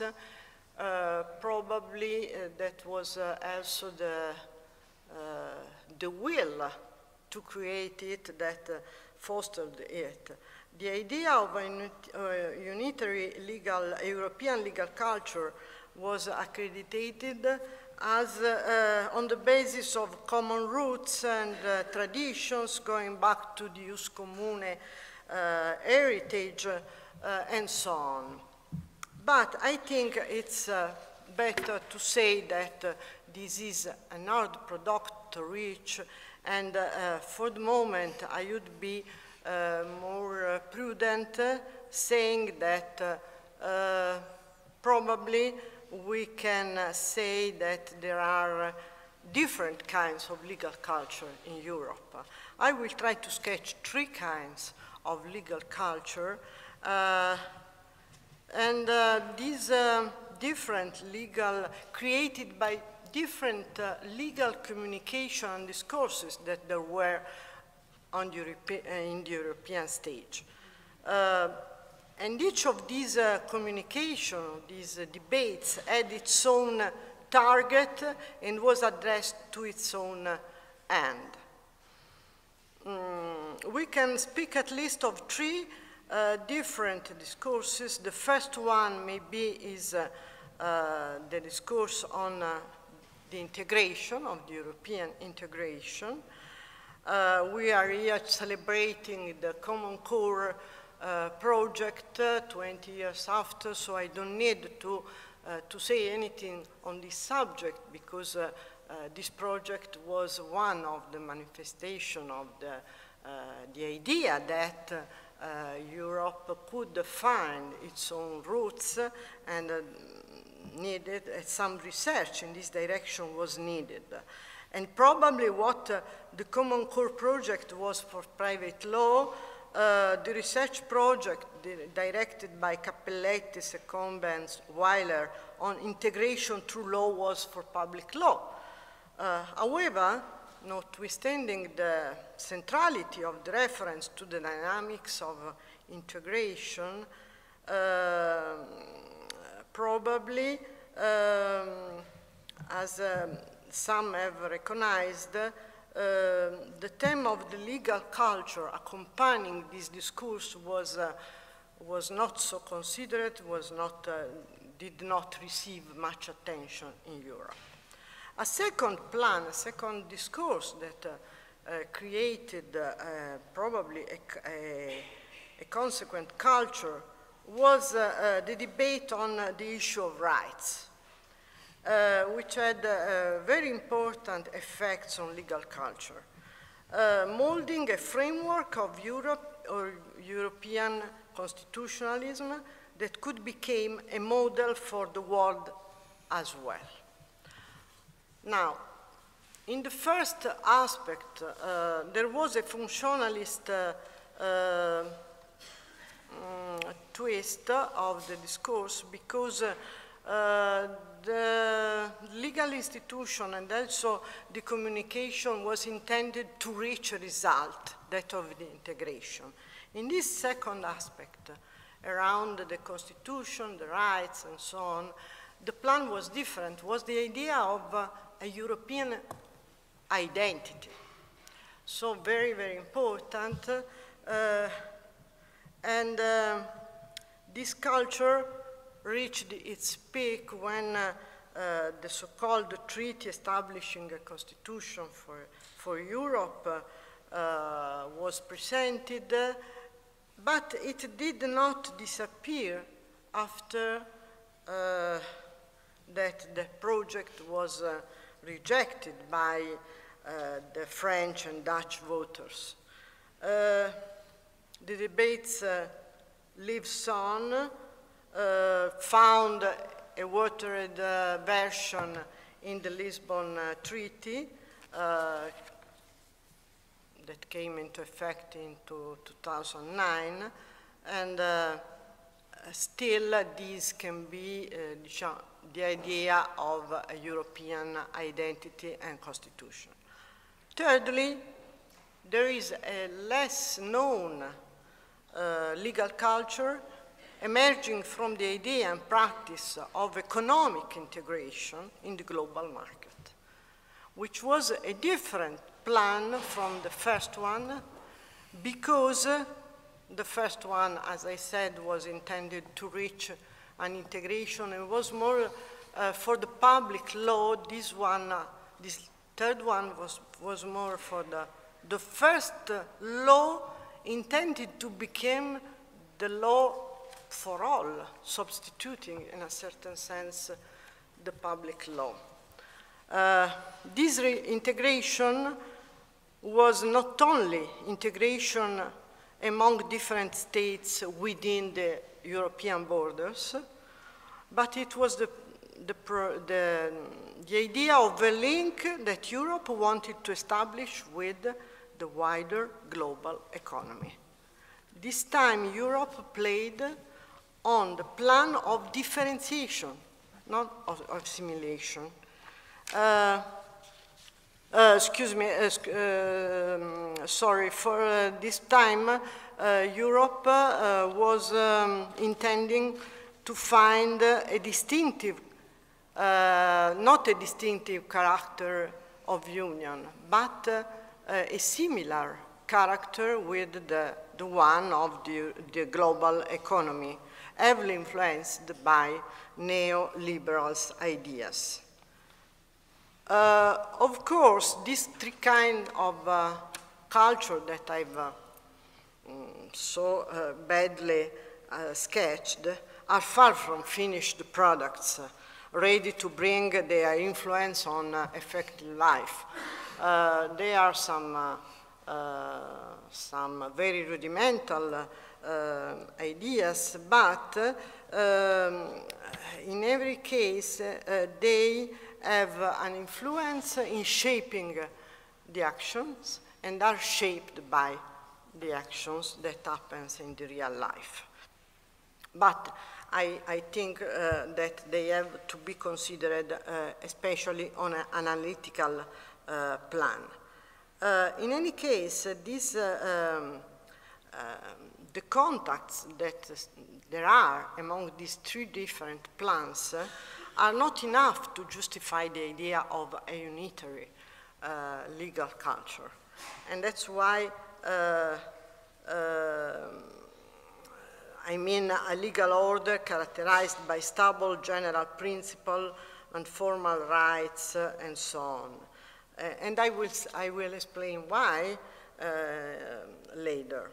Uh, but let me tell something more on the relationship between law and technique or law and expertise. Ugo said before, uh, then uh, in EU uh, story, law was perceived especially as a mostly technical means which is true, and uh, mm, apparently there is no visible conflict between law and technical expertise, as I said before. The technicalization of law is not a new subject, is a, an old project and has a long pedigree. Once again, Europe is in leading position on this uh, on this plan with its attempt uh, to make legal positivism a way uh, to transform law in a perfect technical means uh, that can reach uh, uh, the result, that can respond to a scientific criteria, and so on. Uh, Kelsen legal positivism envisages law as a technique, a social technique, um, at the same time, technicalization of law could be seen as a form of truth uh, because uh, there is the building of uh, a science of law. But is this portrait of the law that uh, Max Weber also envisaged as the fittest for responding to the needs of capitalism still the fittest model for today's capitalism? I think we can find uh, uh, a surprise because uh, story went in a very different direction that the, the one predicted by Max Weber.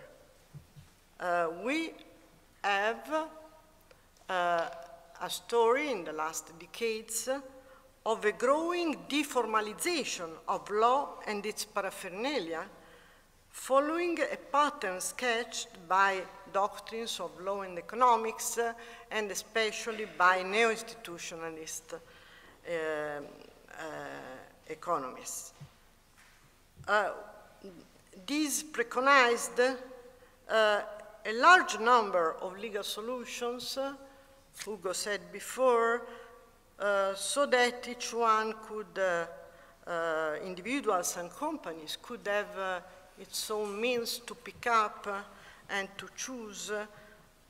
In other terms, we had a very significant uh, process of legal liberalization which parallels the great process of economic liberalization. There is a perfect uh, parallelism between the two. Uh, but today, technicalization of law does not anymore implies the standardization of legal responses. Uh, because efficiency is the new, the new uh, aim of the law, and it's supposed uh, laws produce efficiency, uh, uh, it, uh, it is needed a, a number, a large number of legal solutions. Each one is the fittest for reaching this result. And we can find two essential paths through which this result could be reached. And both of them are respond to a, a strategy of deformalization. On the first uh, is, uh, uh, on one hand, we have legal solutions that come from the past, from history, especially from European history, and that uh, a, a, scholar uh, emphasized with these, uh, these very simple words, hidden hands, habits, patterns, behavior, and cultural moves.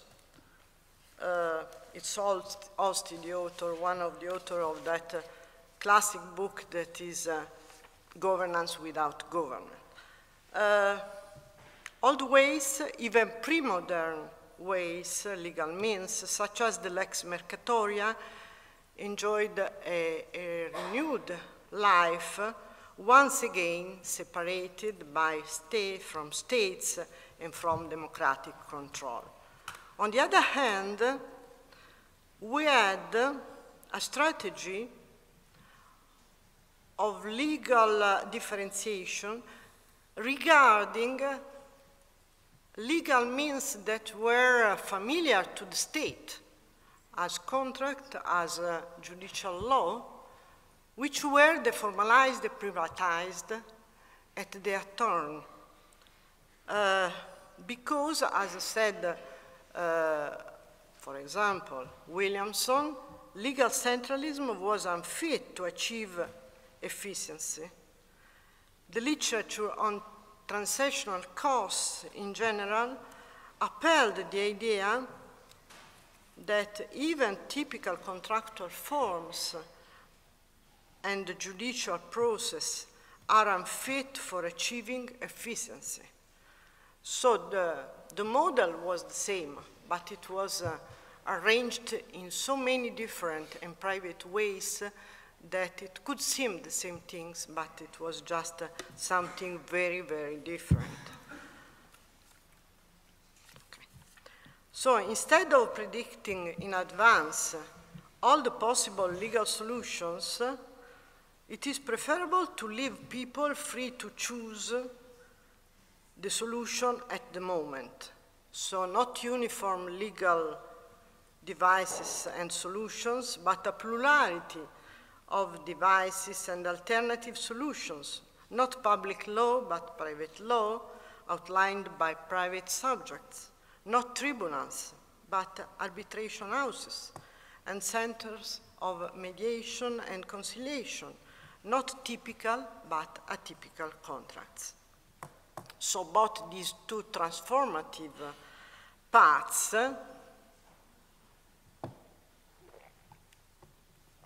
responding to the idea of what Paolo Grossi calls diritto fattuale, factual law, and uh, um, the second one, uh, this process of deformalization of what was uh, typical and formal, um,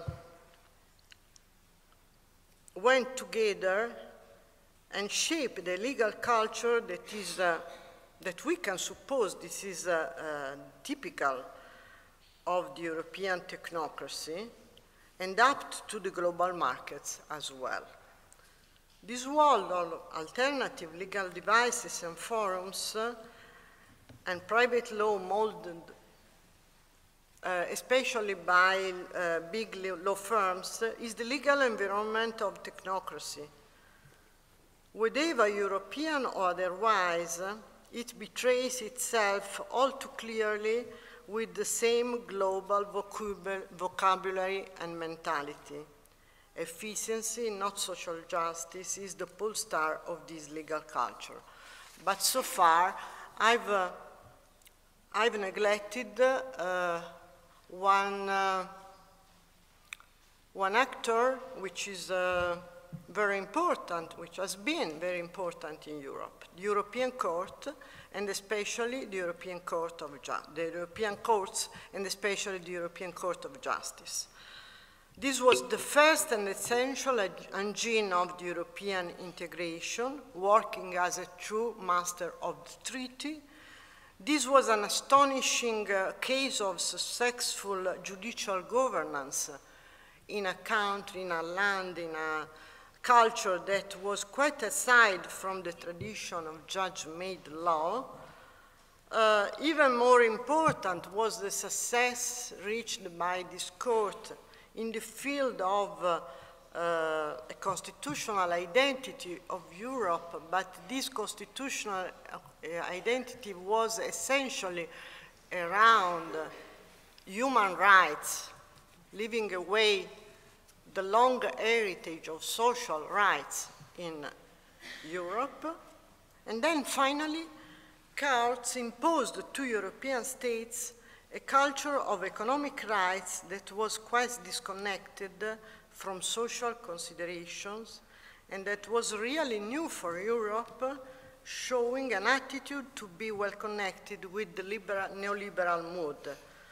So fostering a revival of formalism in law that is typical of, this, uh, of our age, uh, that wants to use uh, law uh, in a formal way without restriction coming from political reasons. I want to, to close with the, uh, remembering some uh, words um, that, I, um, that Weil, uh, Joseph Weiler wrote, uh, saying that uh, Europe, the European Court fundamentally posits an individual vindicating, uh, mm, poses uh, a culture that um, is around a vindication, uh, an individual vindicating a personal private interest against the public good. Paradoxically, European rights in some interesting way became anti-community rights. This comment illustrates very well how the constitutional phase of Europe perfectly overlaps the economic phase and both these, uh, these facets. Uh, too many part, parti in commedia, as we say in Italy, too many roles played in the same comedy by the European Court of Justice. to play so many roles was a proof of great bravura, but at cost of so many inconsistency and breaks in the European story of solidarity and social rights. Thank you.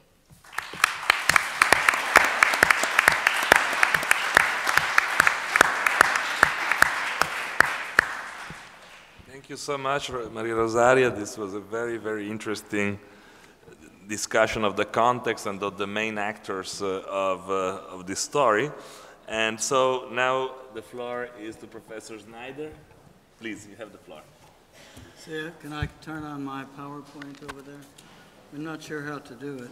Ah, great. Antonio will do the magic. That's it. Thank you. Grazie.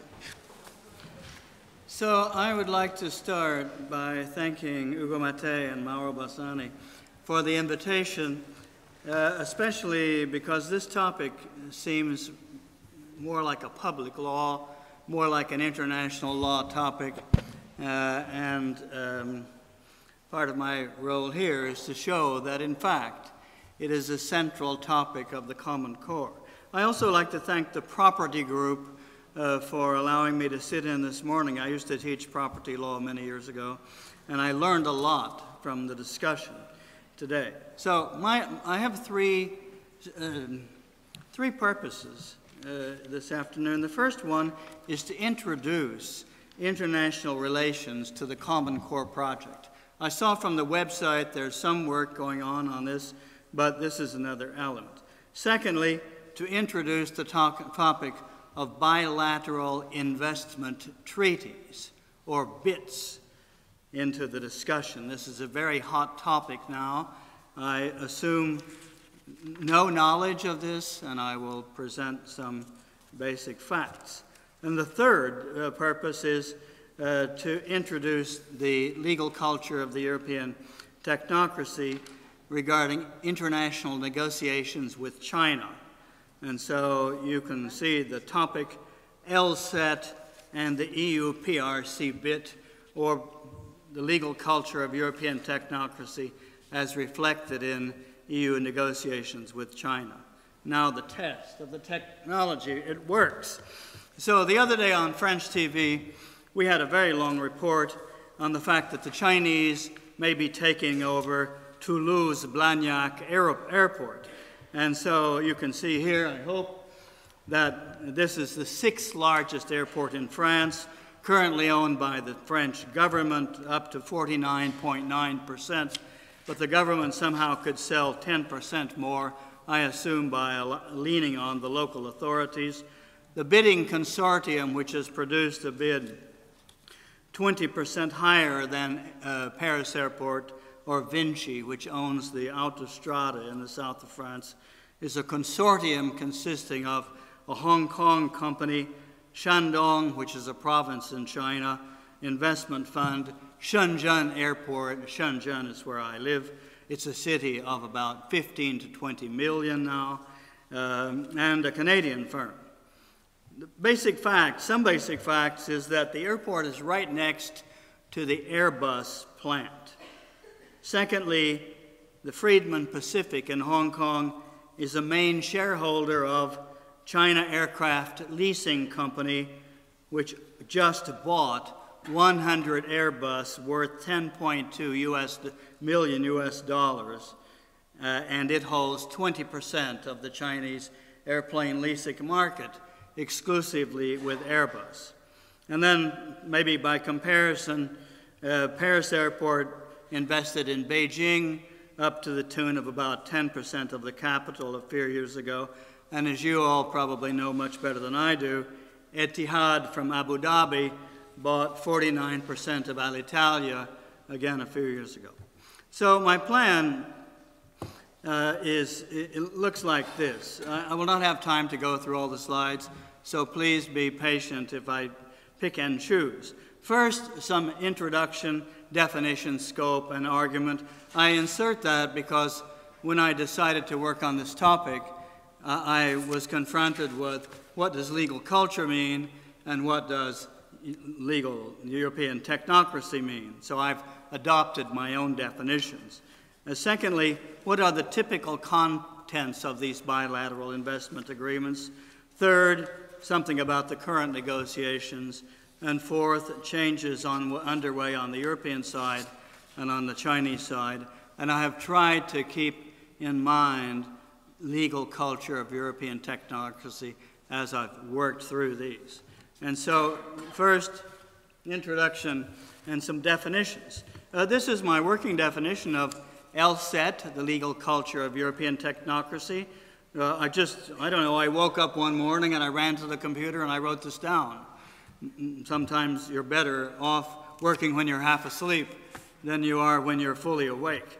So, maybe. So, legal culture, LSET, the intellectual framework and the craft knowledge, embracing law in the broad sense, deployed consciously or unconsciously by EU civil servants, fonctionnaires, and other staff of the institutions, the commissioners, the European Council, the Council of Ministers, and I've also included, included members of the European Parliament because these are the people who, in the committees, for example, are experts. Secondly, you can see that this is not limited to domestic law. I'm trying to deploy this argument in relation to international negotiations. And then the bit, this is a, a definition I've made up from some of the literature, international treaty between two or more trading partners setting out rights, obligations, procedures, and so on regarding FDI or foreign direct investment. So my argument here and I've tried to go on the theory that I might have had only 10 minutes to give my talk, so I should get the argument out front first. Um, and so I put it first. So the argument, first of all, that LSET, the legal culture of European technology, is not limited to the domestic legal field. It's also involved in international relations, including these negotiations.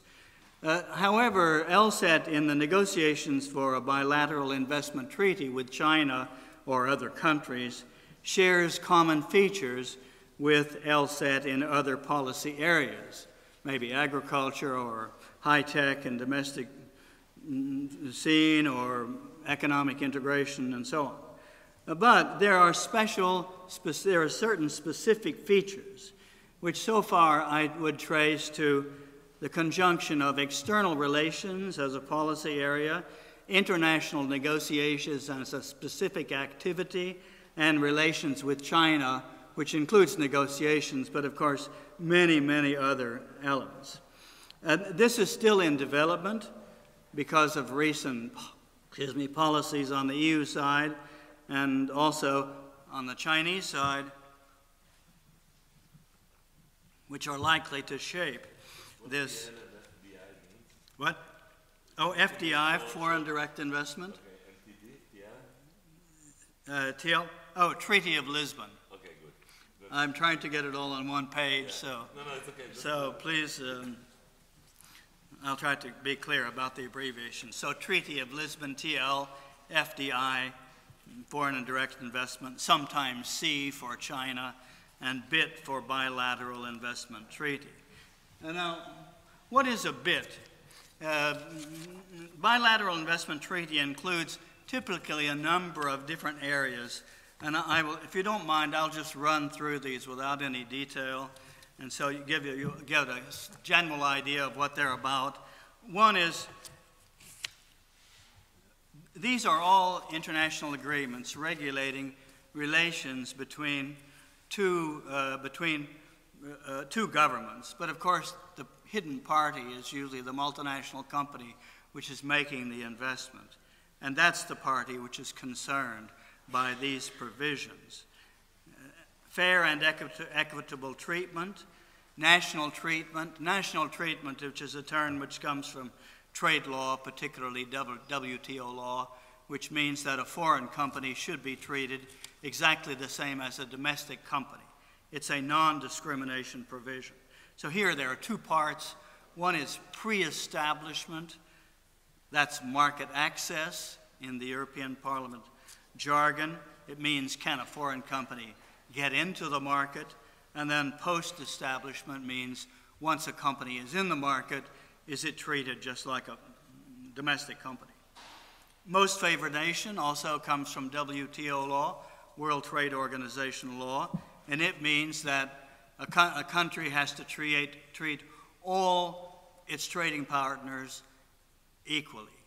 So any advantage it gives to one trading partner has to be multilateralized and extended to all trading partners. And then performance requirements refers to things like transfer of technology. If an Italian company, for example, Fiat, invests in China, does it have to transfer to the Chinese partner all of its technology? Uh, other performance requirements may be a promise to export as much as you import, and so on. And then comes the, some other problems. What about expropriation? Well, there are two types of expropriation. The most tricky one and the most interesting one is what's called indirect regulatory expropriation. So, when we had the discussion this morning about the commons and property rights, this leapt immediately to my mind because here is the zone of protection of public goods or, or, or commons against private rights, private rights by the multinational company. And then dispute settlement, and then sustainable development. That's a general picture of what these look like. Well, what about the legal culture of European uh, technocracy, taken broadly, in the way I've defined the group? one prudent, prudent optimism that negotiation can produce a deal favorable to the EU, to the EU member states, and to EU business. And I also should add uh, citizens and residents to that uh, PowerPoint. Max, the EU wants maximum non discrimination. It wants to be treated better than any other partner of China, for example, the United States and of course on the same footing as Chinese companies. The EU, uh, following its, uh, its bias, one can say, is very much in favor of open markets and a reduced role of the state. And so, for example, it wants market access or pre establishment national treatment, no performance requirements, and so on. The EU on the whole does not trust the Chinese judicial system, so it wants easy access to international arbitration if there is a problem. It also wants to include sustainable development, environment, labor issues, human rights issues, maybe, uh, in that. And we can see that these are all values which are stated in the Lisbon Treaty, which have basically been extrapolated into this new policy arena. So look at the current negotiations. Um, first of all, the background. EU Commission, uh, the European Commission said in 2006 in a communication about China, in two communications, in fact, that the EU's biggest trade challenge was relations with China. And here you can see some statistics increase in the deficit, but here one has to keep in mind that the economists tell us that the trade between EU and East Asia or Asia has been relatively stable for years. What's happened is that China has become an export platform, particularly where I live in Shenzhen, which is the home of the Chinese miracle. And so instead of products being exported from Indonesia, Malaysia, Thailand, uh, South Korea, Taiwan, they all come through China and they're labeled made in China, even though the value added in China may not be so tr tremendous. It's a question of the rules of origin. But also, we see that EU foreign investment in China is only 2% of EU world foreign direct investment. And uh, China, really the same on the same side, China FDI in the EU is uh, only uh, 2.5 or at the most percent of total inward FDI. That means money coming from China into the EU. And then another point which to keep in mind is that EU-China relations so far have been mainly relations between China and member states, particularly Germany and also UK. And so Germany, in fact, has an equal trade balance with China. That means it imports more or less as much as it exports to China. Other Europe, EU countries are not in the same position at all. Now, all of these facts have an influence on the negotiations. Negotiations were announced at the EU China summit, that, that happens every year, in 2012. Um, and so far, there have been three rounds of negotiation. One has maybe to relativize the speed of negotiations because the, Canada China BIT took 18 years. For various reasons, which may become clear, the EU one probably will not take so long. So, the current negotiations here comes LSET again, legal culture.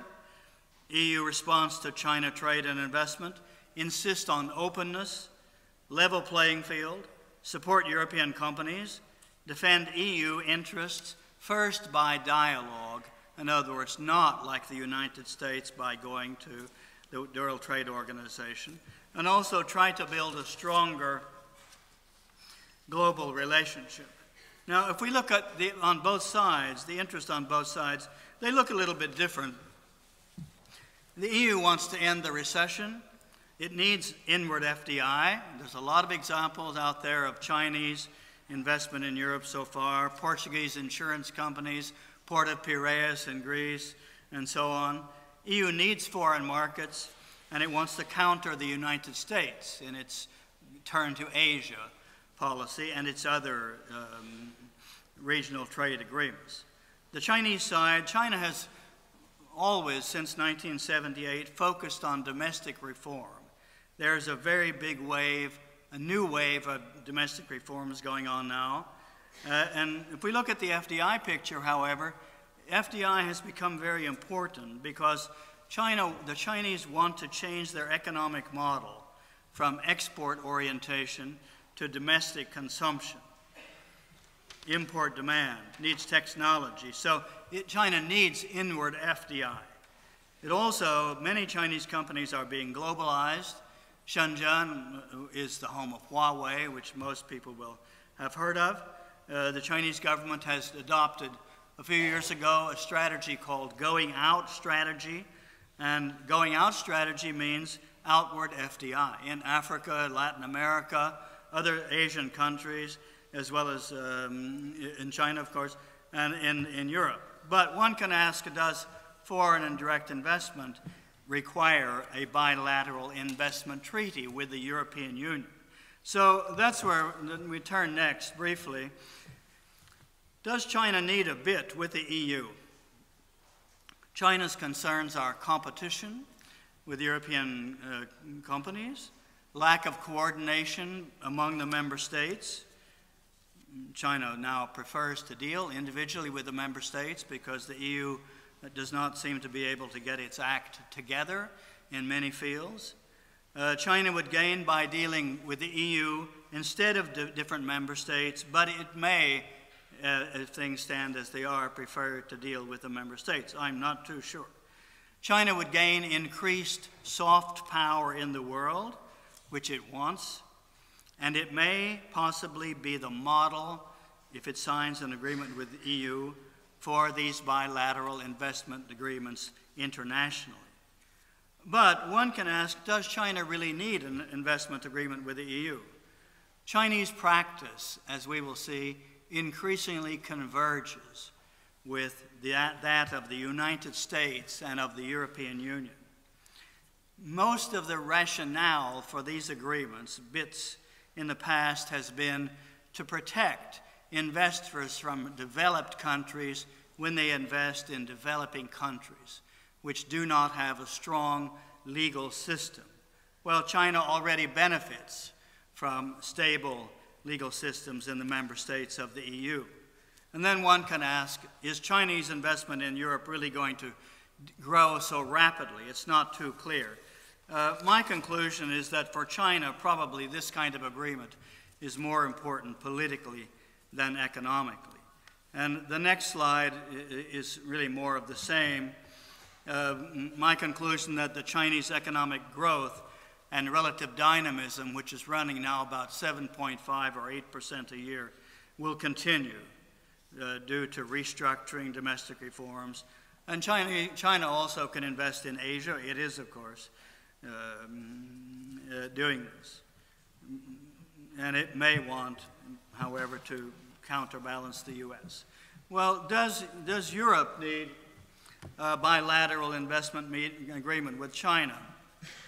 European concerns, if one reads the Commission's uh, communications and other documents, are first of all that China has a policy of fostering its national champions. Secondly, that it wants to encourage indigenous innovation. Basically, typical developing country concerns. Um, government business relationships are alleged to be opaque. And then China has a weak judicial system despite with the beginning of reform now.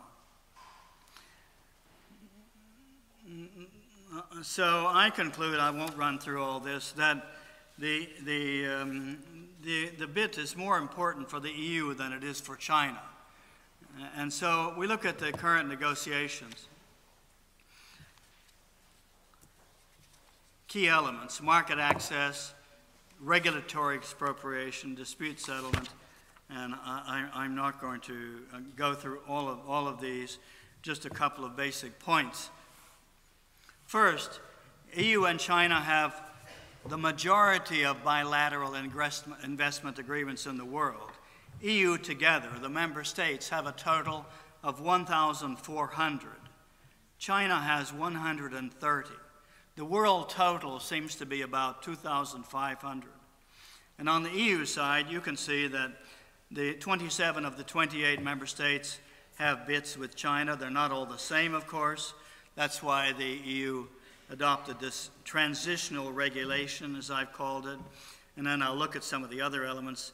Uh, on the Chinese side, the main points to take away there are that the past practice has been very restrictive of foreign investment, but now there are current reforms which promise to be make a lot of changes and even lead to a convergence of, to the same technocratic legal culture, even though that may sound a bit strange and it leaves a lot of questions unanswered, of course. So, on both sides, a number of changes, some of them we, we know very well. With the Treaty of Lisbon, the European Union got exclusive competence uh, for foreign direct investment as part of its uniform common commercial policy. And I will, I'll go, I'll just go through these here. The competence to Article 206 of the Treaty on the Functioning of the European Union. Uh, a lot of debate about what is included in FDI, what does it mean, and so on. I'll skip over this. Also, the negotiation procedure. And then, what does it tell us about LSET? LSET, what does, how can the Treaty of Lisbon be a window? Well, there one has to take the law seriously, which sometimes is a useful thing to do. Uh, and so here's the articles of the Treaty of Lisbon, which talks about elements which are related to legal culture of European technocracy and, mm, for example, mm, international action to be guided by EU principles, democracy, rule of law, universality of human rights, respect for human dignity, equality and solidarity, and so on. A number of, a lot of repetitions there. EU then adopted in 2012 uh, what is called the transitional regulation.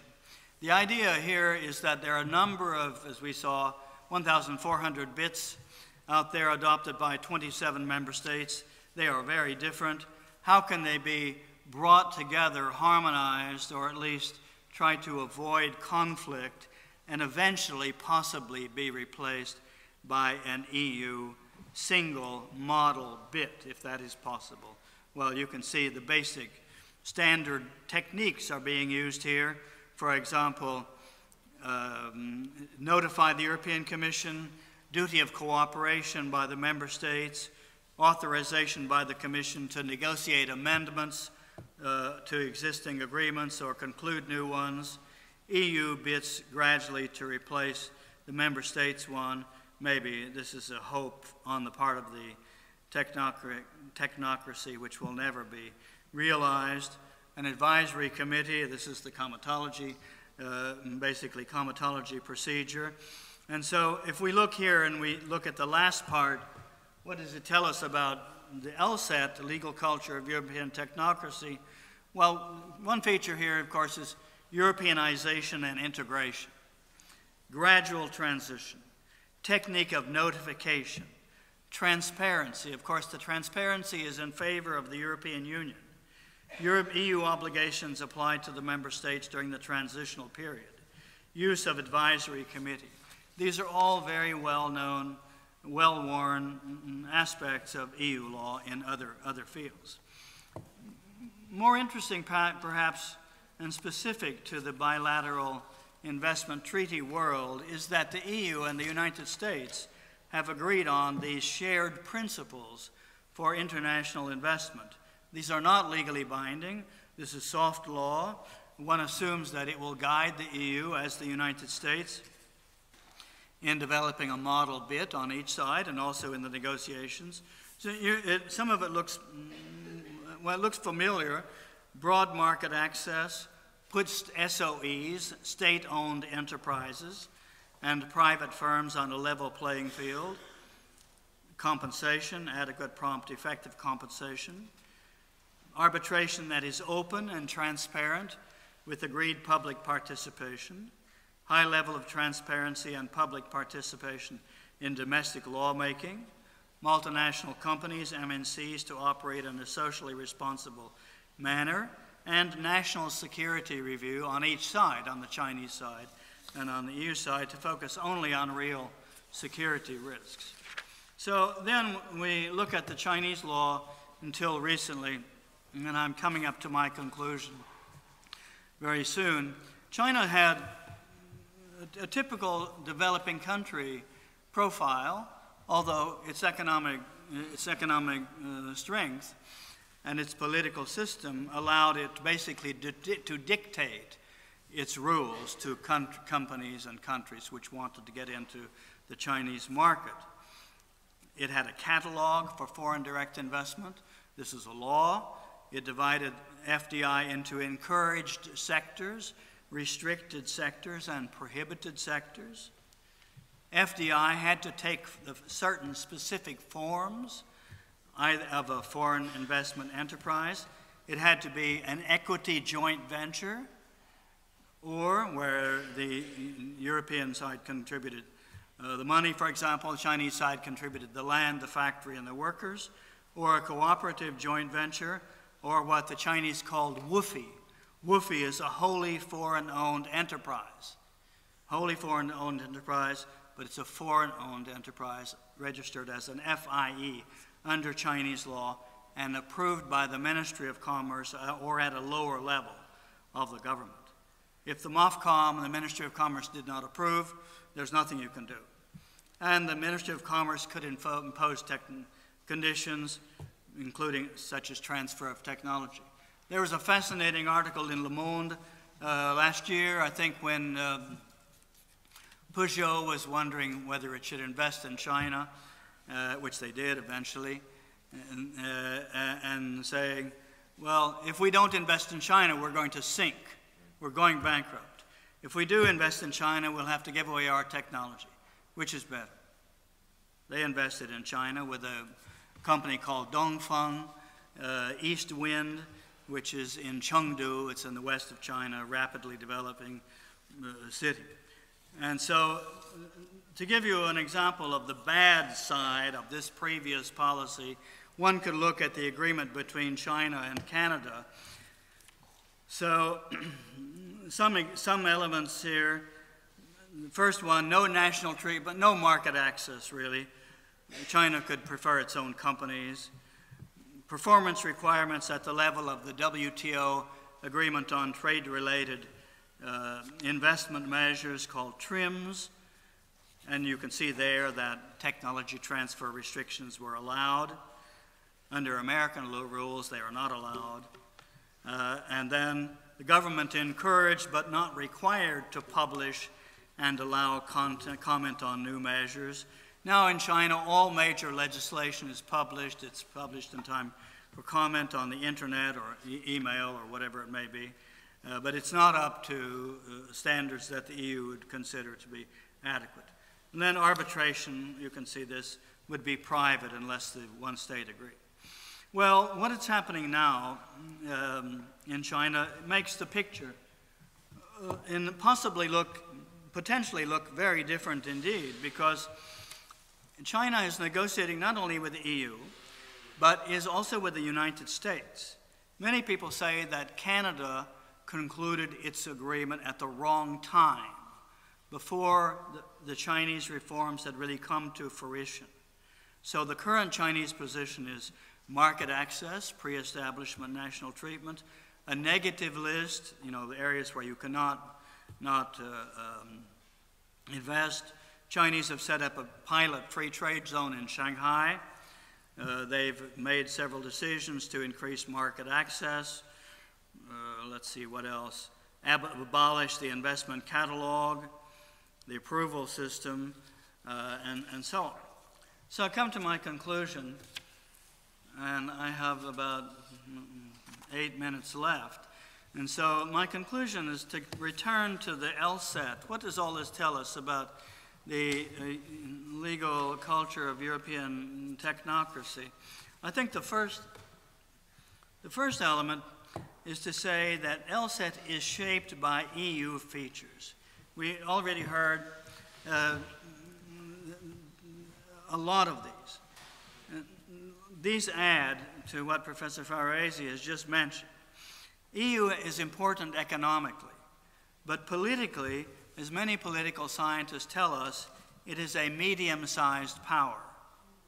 What are its negotiating strengths? Secondly, EU, as described by many political scientists, is not a government, it's a negotiating system. Does that mean it is weak compared to a large sovereign state? EU is a divided power system, but can the member states agree? And if one looks at the transitional regulation and some of the literature I've started to go through more systematically, there's a lot of room for doubt. To what extent can the EU deal with member states' different interests? Uh, my, mm, invent, my invented phrase about this is globalization strengthens China but weakens the European Union. Now, I have to think about this. That's why I wrote considered why. Consider why. Why does the EU need the BIT more than China? What does this tell us about legal culture of the European uh, technocracy? There's a very well-known report about EU-China relations produced by the European Council on Foreign Relations, which said formerly the Europeans considered themselves superior to the Chinese not only culturally, but politically and economically. Now this is, this is ridiculous. Uh, it needs to change. This does not mean one has to adopt the Chinese position, uh, which is equally ethnocentric, but it means that if the EU is going to make some progress, there needs to be some rethinking on the part of the European technocracy. Now, secondly, LSAT is shaped by some features uh, of its own internal features, one might say. First of all, it's elite, it's diverse, it is not all technocratic. For example, the people in the European Parliament are not all technocrats. Secondly, Europe has, I suppose, technical expertise in international negotiations, but compared to the United States, it has very little expertise on China. Also, we know there's conflict, tension within the technocratic community between trade orientation and human rights orientation. Also, between strong market access, for example, the parliament, and deepening of existing trade relations. And then working relations with member states. Obviously, different member states are in a different situation. And I've added here, and it's not on the slide, German dominance, trade balance, politically friendly, more FDI, more China expertise. One can only, one can look at, for example, the recent anti-dumping cases for evidence of that. And then finally, LSET is shaped by context-specific features, and I've reordered, I've reordered some of these. Uh, rhetorically, the EU often, if not usually, follows the United States, for example, in its principles about investment, but it's less confrontational I wonder whether in practice the EU will be able to improve on the Canada China BIT. If so, it will be because of the reforms going on in China. What about security review? Here, the European Union has not been as touchy as the United States. Huawei and other, other examples show this. China has a method of focusing on common interests and setting aside differences. This is how the Chinese work. Can the EU accept this? China will gain, if there's a BIT, uh, in soft power. Uh, would the EU like this? It will be part of the bargain. And then the key elements in these BITs are market access, indirect expropriation, and dispute settlement in some of those, particularly the one about the commons, I think the EU and China have common interests, for example, in indirect expropriation, in ring fencing public policies from challenges by private investors. For example, public policies about the environment, or about food safety, or about water, or could be, could be, could be, and could be anything. But we lawyers know the devil is in the details, and so maybe there may be there may could be common interest in general, but in the negotiations it may not be so obvious. And then finally, China has a timetable reform. The EU has to be very careful that it takes account of this. And so I end with some questions and hypotheses. One element is not here, one element is it seems that the United States is the leader. Both the EU and China want to be the leader in creating a model BIT which will be accepted by the rest of the world. We'll see how this works out. Secondly, if, as I see it, the EU and the Chinese starting points for negotiation are converging together with the US position, does that mean that the European technocracy legal culture and the Chinese technocracy legal culture are converging in certain respects and in certain contexts to be defined? This sounds like the product specific uh, uh, element, you know, in the, in the medical, uh, medical products regulatory regime. So I, my hypothesis is yes, they are converging in certain respects and in certain contexts which are to be defined. And that's obviously an invitation for future research. Secondly, does this mean that it's more useful to analyze legal cultures, at least technocracy legal cultures, in terms of a social or legal field instead of a, a national or regional integration scheme, territorial boundary? My view is yes it's more useful to analyze these in terms of social and legal field. I have not done this, that's why it's a hypothesis. And then several questions.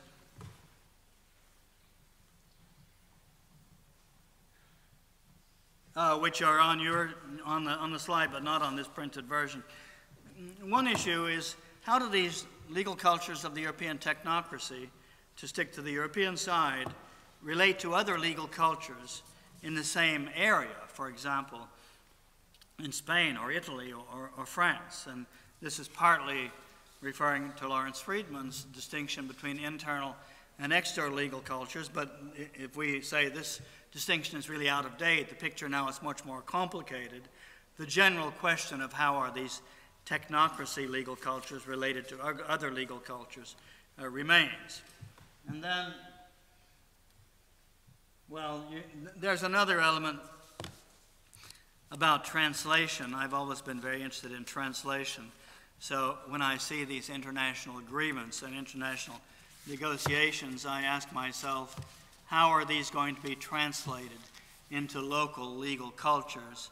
And as we all know, in translations, many things are lost, and this is likely to be the case here. So I, have tried to reflect on this maybe rather strange beast, the BIT and external relations, and ask what is the legal culture of European uh, technocracy. So, thank you very much.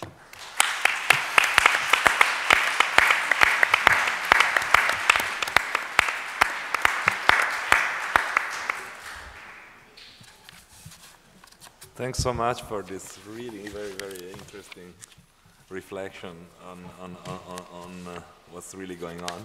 So thanks so much. Um, I guess now the floor is open if there are questions or remarks or any one of the three papers that were presented. And this is the moment to speak.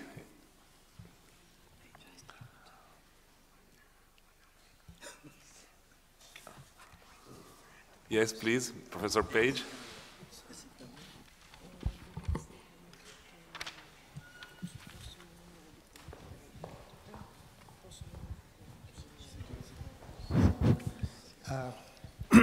yes, uh, I'd like to comment on uh, Rich, uh, Richard Goldberg's presentation, um, and I'd also like to uh, utilize the, the Common Core methodology here of uh, law on the ground, but I'm going to talk about regulation on the ground and things moving from, from the bottom up rather than from the top bottom, uh, and give you uh, some comments on the issue of technology and democracy. And I'm going to use as an example a controversy that's uh, broken out in the United States relating to uh, access to unapproved new drugs.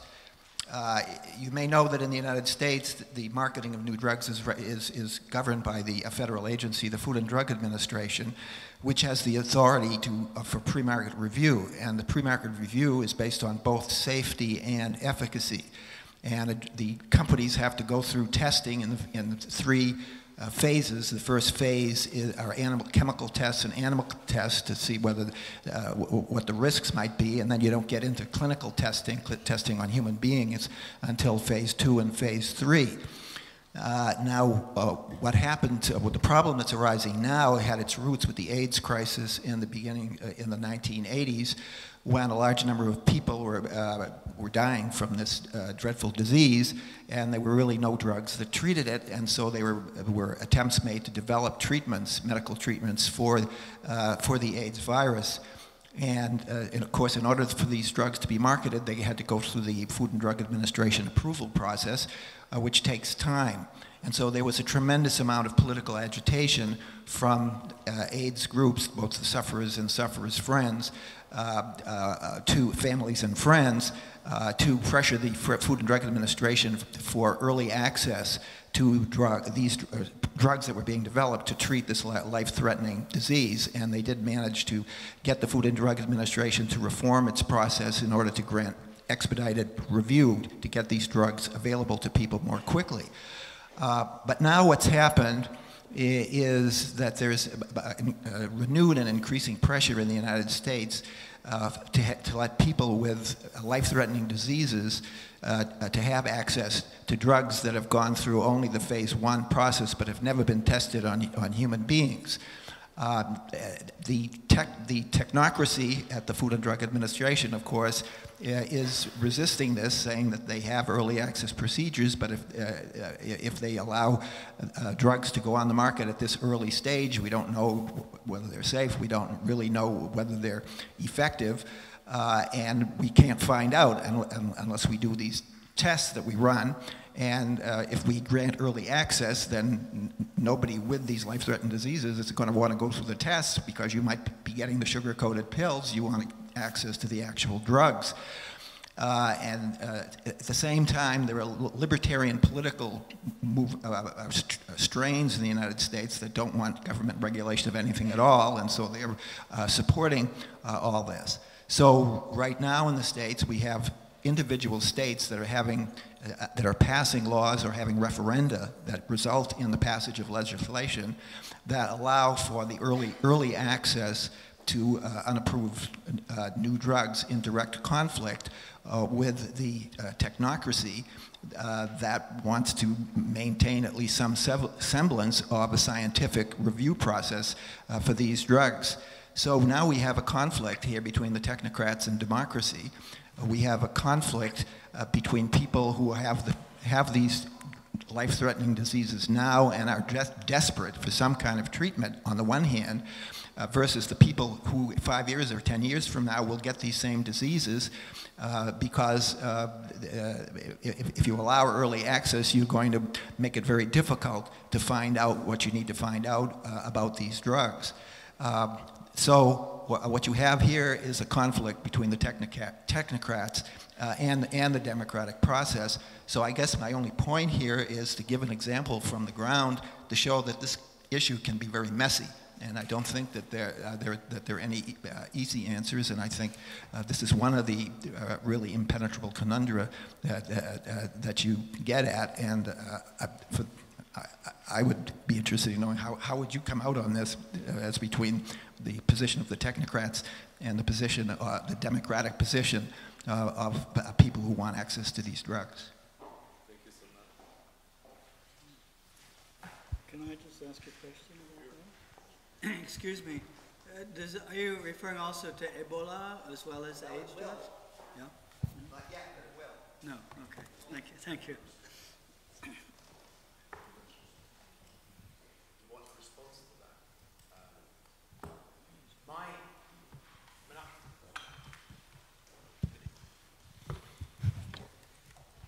I think it's, I mean, I, I, think, I think your problem actually is, is excellent because it, it shows the dilemmas that exist in this particular area.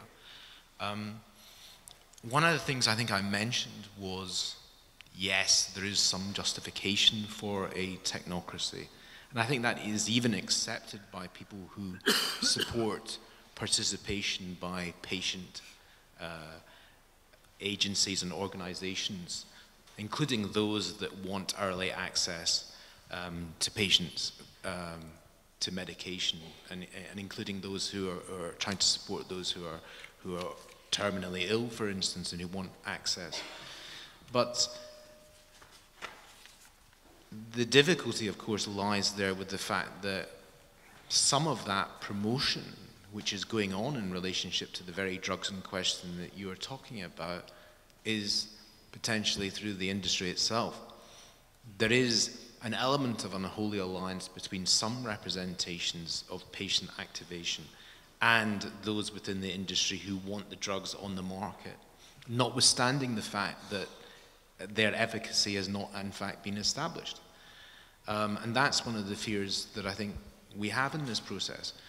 Um, the flexibility introduced as a result of the AIDS crisis was a good thing.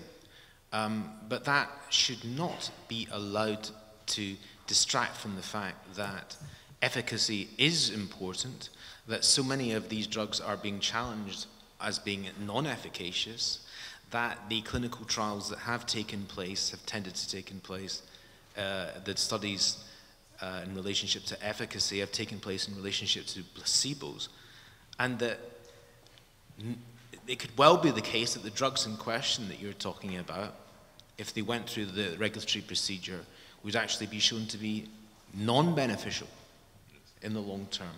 And that's really the concern. So, uh, in, in, many ways, I have sympathy for both sides. I have concerns for the technocratic people who believe that actually, if we put these drugs on the market and we make them available, and in five years' time we're able to establish, in fact, that they were of no benefit at all, then this could be a real problem.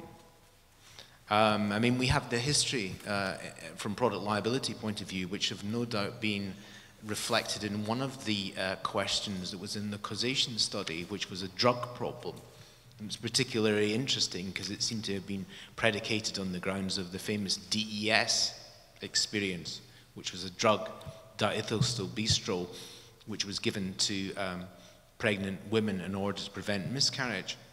Now, the interesting thing about that from the point of view of the causation scholars was the idea of market share liability as a means of resolving the problem of not being able to establish causation. The case in question was such whereby the daughters of the women who were given the drug uh, developed vaginal cancer, sometimes 15 to 20 years after discovery, and they couldn't remember which drug was the one in question because many of them had taken like 30 or 40 different uh, generic versions, certain 30 or 40 different versions of it from different manufacturers, because in fact the drug was not patented. But one of the interesting things about DES was in fact that it was actually designed to prevent miscarriage. It was completely non efficacious. Not only did it cause the adverse effect, which was identified by Herbst uh, and Poskanzer and Ulfelder in the New England Journal of Medicine in 1971 of the vaginal cancer effect, but actually it was never of any benefit for anything.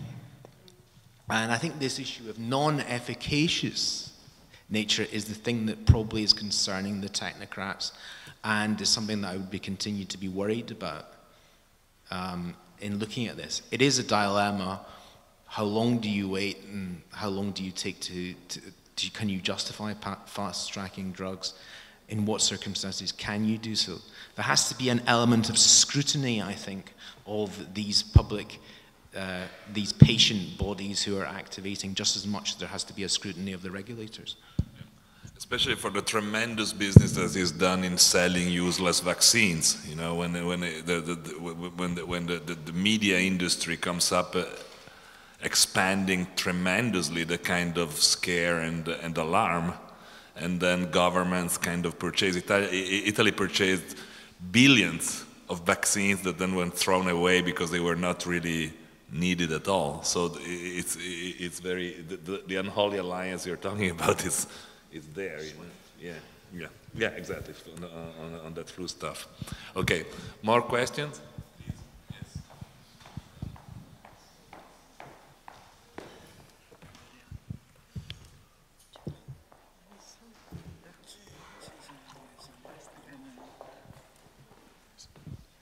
Um, thank you for each of your presentations. Uh, David Cabrelli, University of Edinburgh.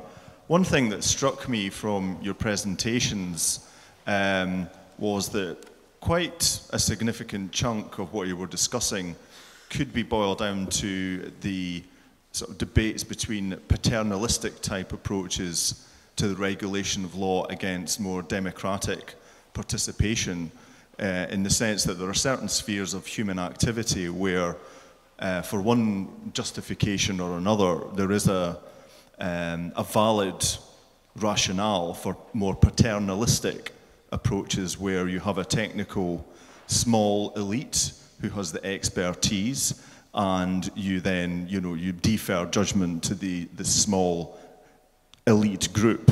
And because you've you've recognized that it's a certain area of activity in which democratic participation uh, has no business to to function it, it, sounds quite controversial what I'm saying, but um, you, perhaps drug regulation, environmental regulation, etc. Now, that's not to say that democratic institutions and democratic, the majority, so to speak, uh, cannot lobby for change, but um, paternalistic, you know, this idea of the cost benefits um, may justify certain um, approaches in that manner. It's just a thought.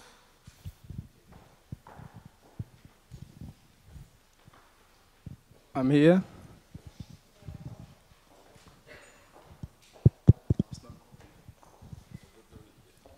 Yeah, my name is Zishan Mansour. I'm from the University of Groningen. Uh, first of all, I'd like to thank all the speakers for your really informative presentations. I have a specific question for Professor Maria. Uh, in your divisions of the different uh, legal cultures, the, the three categories that you've uh, come up with, I was just wondering, I mean, to what extent do the, to extent do the categories actually overlap? Because particularly regarding the first and the second category, because if I'm not mistaken, the first category refers to integration through finding a common thread of the law, and the second category refers to the constitu uh, constitutionalization of law. I mean, I, as far as I'm concerned, there is considerable overlap as well. So, I mean, what would you say um, in this regard?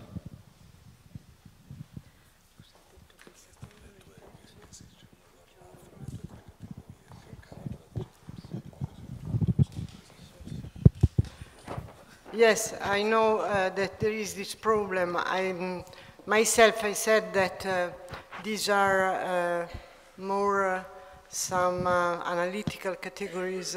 I know that uh, they overlap, but they overlap just sometimes. But in many cases, in the most cases, we can see a clear differentiation. This is my idea, at least, because when the Court uh, of Justice takes a decision on social rights, for example, labor, right, uh, labor rights and so on, it, um, it is in front of a contradiction between the two dictates. And then you can have a clear choice between the two. In, in the most cases, the court uh, in this field uh, decided uh, following the third kind of culture than the second. My name is Alaji Jinka, the International University College Turin. It was an interesting, always an interesting session. At the end, I am happy to be general, and of course, my question itself will be general, but I am happy for the high table, this is it.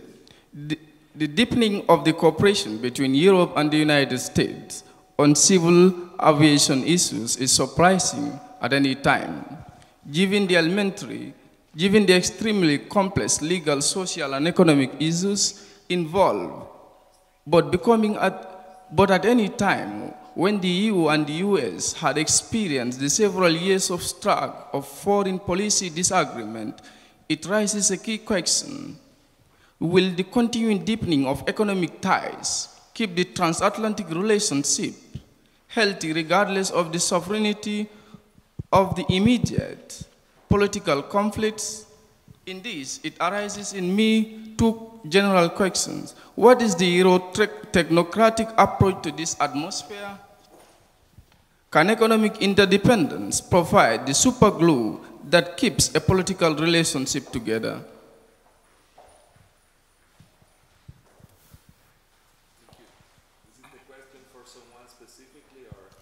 No, it's to the high table. I won't allow to go without uh, having the blessing of this table. I can answer. I can say, posso uh, maybe I can say, I'm not sure I got your entire question, but about the um, similarity between the U.S. and the EU. Uh, uh, there are many similarities. Most of the procedural elements come from American administrative law even though we heard that the judicial review level in the EU and the delegation of powers to administrative agencies in the EU is very different from the United States. Nevertheless, the, EU, the U.S. has pushed its administrative law standards through many international organizations. Uh, there's a competition in the world, as you, you know very well, between the main powers, EU, US, and now China, to make their standards, each one's standards, the world standards. So the EU, EU US investment list principles is something like that. Uh, I think, however, if one looks at the details, for example, what about the regulatory exception? You know, should people be compensated for what's called indirect expropriation if a government takes, you know, intervenes in a, in a business activity? For environmental reasons or labor reasons or something like that. I think there the EU and the US have different concerns, you know, at that, at that, that more detailed level. I'm, I'm sure there are many other, other differences. There is definitely actually in this competition within the, with, between the three superpower, Sure. something that resounds pretty well, the scramble for colonies, right? What? For the scrambling for colonies and other parts of the world. Oh, So it's, uh, well, it's- s- standards, I think uh, that is what you're, you're pointing at. Basi- ba- ba- Sure. Basically, there is this like uh, It's very pretty similar. clear Sure. converging of interest of the big shots in Sure. dividing up the rest of the areas of influence. And of course, if you are in the global south, you're screwed. Yeah, I did my yeah. PhD many years ago on Senegal. Yeah. I lived in a village in Senegal for three years.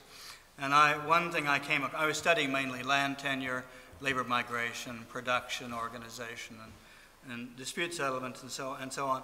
Uh, I came across one example, I cannot remember now exactly what, of some standards, where some people in the village wanted certain standards for, I don't know what it was. And thinking about that, it becomes clear that the standards may be good for the future or for everyone, but in, there's also a, the idea that the proposer has the most benefit. So it may well be that the Chinese or the EU or the US pr- principles are better for everyone, but of course they're proposing it and they're there to benefit. That's partly why they propose it.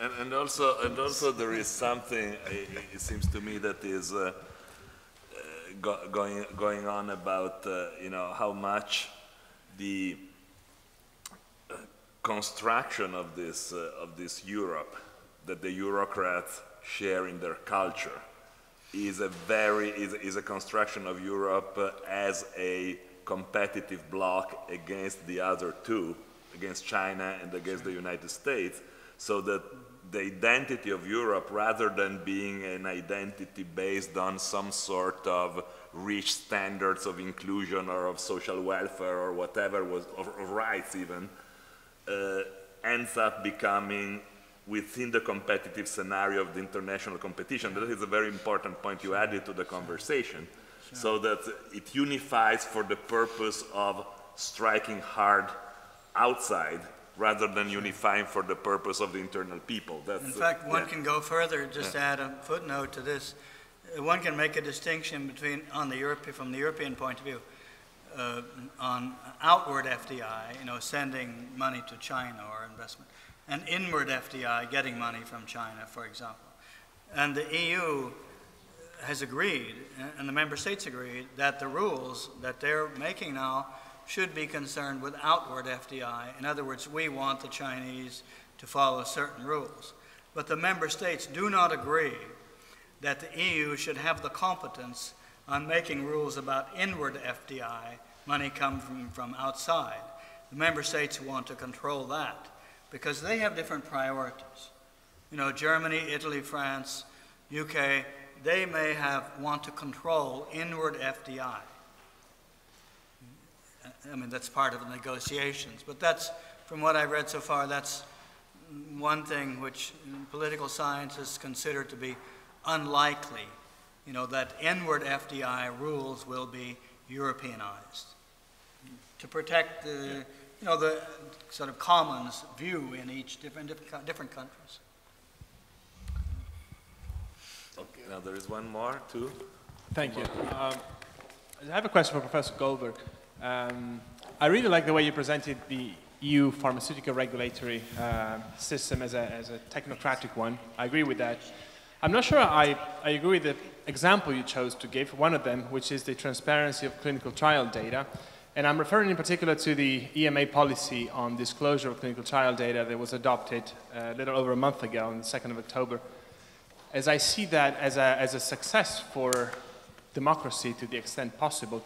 Uh, and what, what I mean is, after the first time the EMA proposed adoption of the policy, adoption was postponed because of the massive amount of responses to the public consultation in the range of hundreds from, you know, pharma companies, but also uh, scientific community, even individuals. And the second time around, there was ano- another time it was postponed, the adoption was postponed because of the intervention of the EU ombudsman and other like political reactions to that. So I was wondering if you see the EMA policy as an example of democracy or technocracy or, you know, what are your thoughts on that? Thanks. Um, I mean, mean, I totally agree with you. I mean, the, my, the discussion and issues as to these, the nature of these reforms.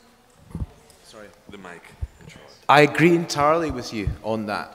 They weren't so much illustrations of actually technocracy, but the idea of the democratization of the process, albeit within the constraints of a, tem- of a technocratic system. And I think that the, the, the EMA is showing some really important moves there. And I think, I think uh, one cannot criticize them for doing that.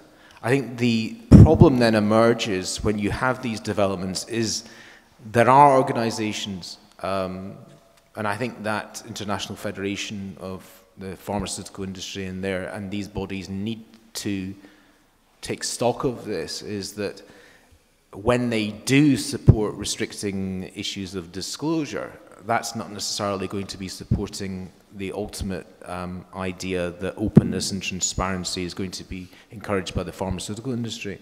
So what you have is you have a slight double hand here.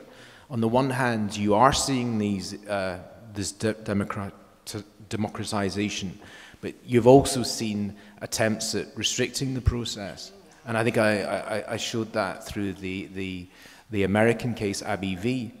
That's not to say, and I think this is also important, that there are issues surrounding trade secrets. I certainly don't subscribe to the view that everything should be disclosed by a pharmaceutical company. The problem I think that's going to emerge over the next two to three years is this issue as to what should constitute a trade secret, what should actually remain confidential, and what should not. And I think determining that delineation there of the line between what is acceptable in terms of non-disclosure and what is acceptable in terms of disclosure is, is, is really interesting, actually.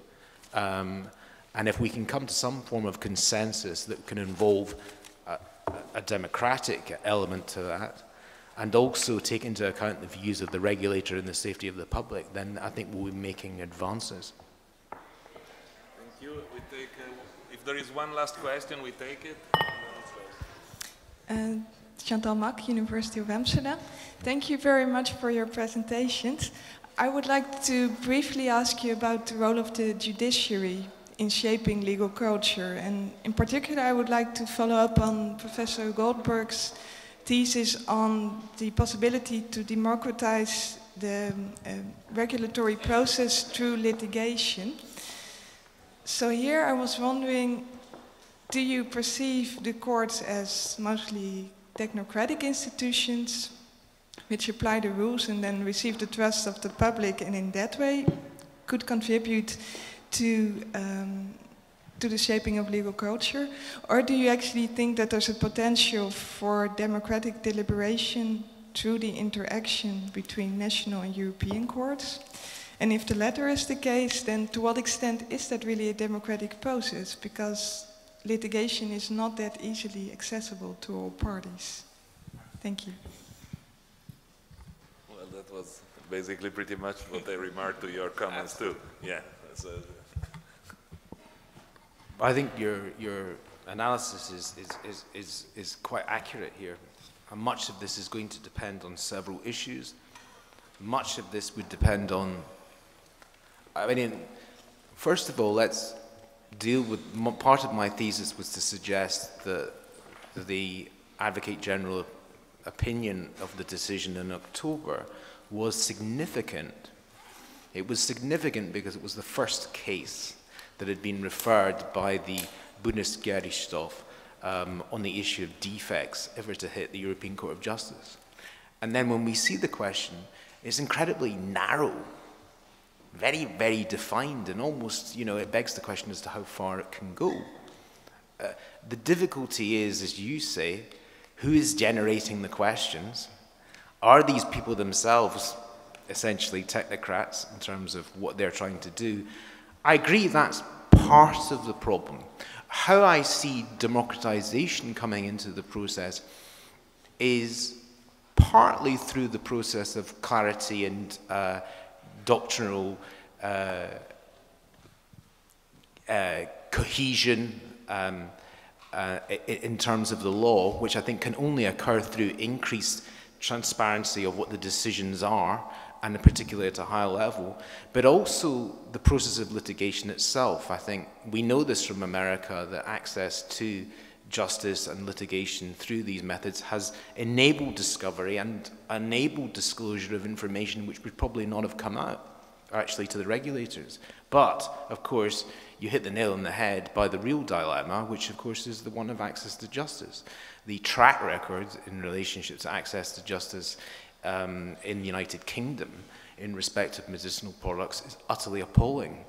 One of the reasons why it is the case has been the debacle surrounding the measles, rump, mumps, rubella vaccine litigation because so much money was spent on legal aid on a case where there was, there was no causal connection between the, the vaccine and the damage in question. And that was used, of course, by those zealots who want to come, cut back on funding as a reason for actually, um, you know, cutting back in this process. So the whole issue of access to justice, there's no doubt, is relevant, is relevant to this process.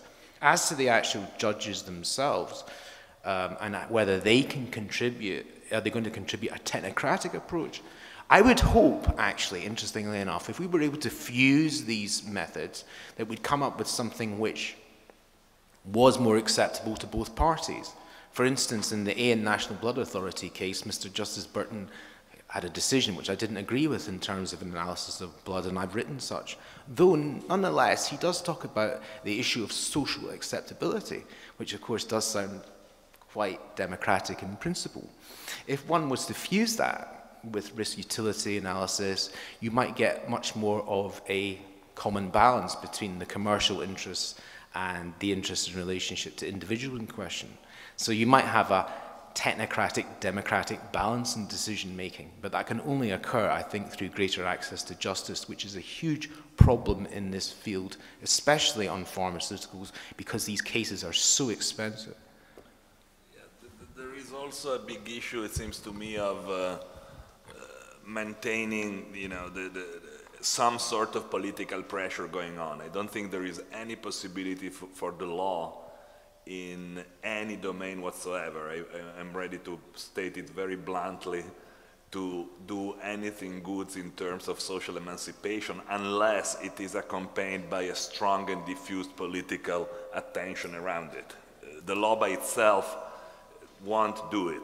I mean, especially, and, and, and there is a lot to say also how much American law in these last few years has been closing access to justice by a variety of technicalities that makes it impossible today. For example, class certification. There used to be something that was obtained as a matter of course in American law. There was never an issue to obtain a class certification.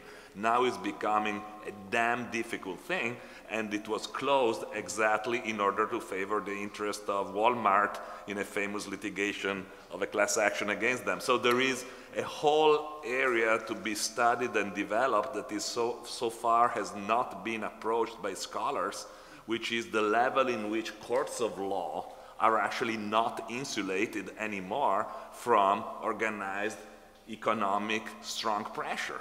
You know, we've been assuming, especially in the common law tradition and especially in the United States, that you know tenure of office of judges uh, and uh, salary, you know, the Article 3 of the Constitution guarantees are kind of enough to insulate the judicial process from organized pressure of the strong corporations, and is proving more and more and more coherently false. Is a huge ideology that only legislation is captured, whereas case law is not. And either we are ready to go and challenge that point of the fundamental relationship between sources of law, or we're going to blah blahing in a lot of rhetoric, I think, from, from this point of view of access to justice. This is, it seems to me that is a very important, it's a point to be taken into consideration, that it's taboo. Absolutely. It's taboo in American law schools. You know, you cannot do that. You start to doing that, it's like you are, you know, swearing in a church. It's, it's, it's, it's really kind of this very disturbing from, from my, my point of view this. Anyway, said that, I'm sorry that I, I, that I maintained the last word. Thank you so much. It was a wonderful afternoon, and let's enjoy some food and some drinks. Okay, thank you very much.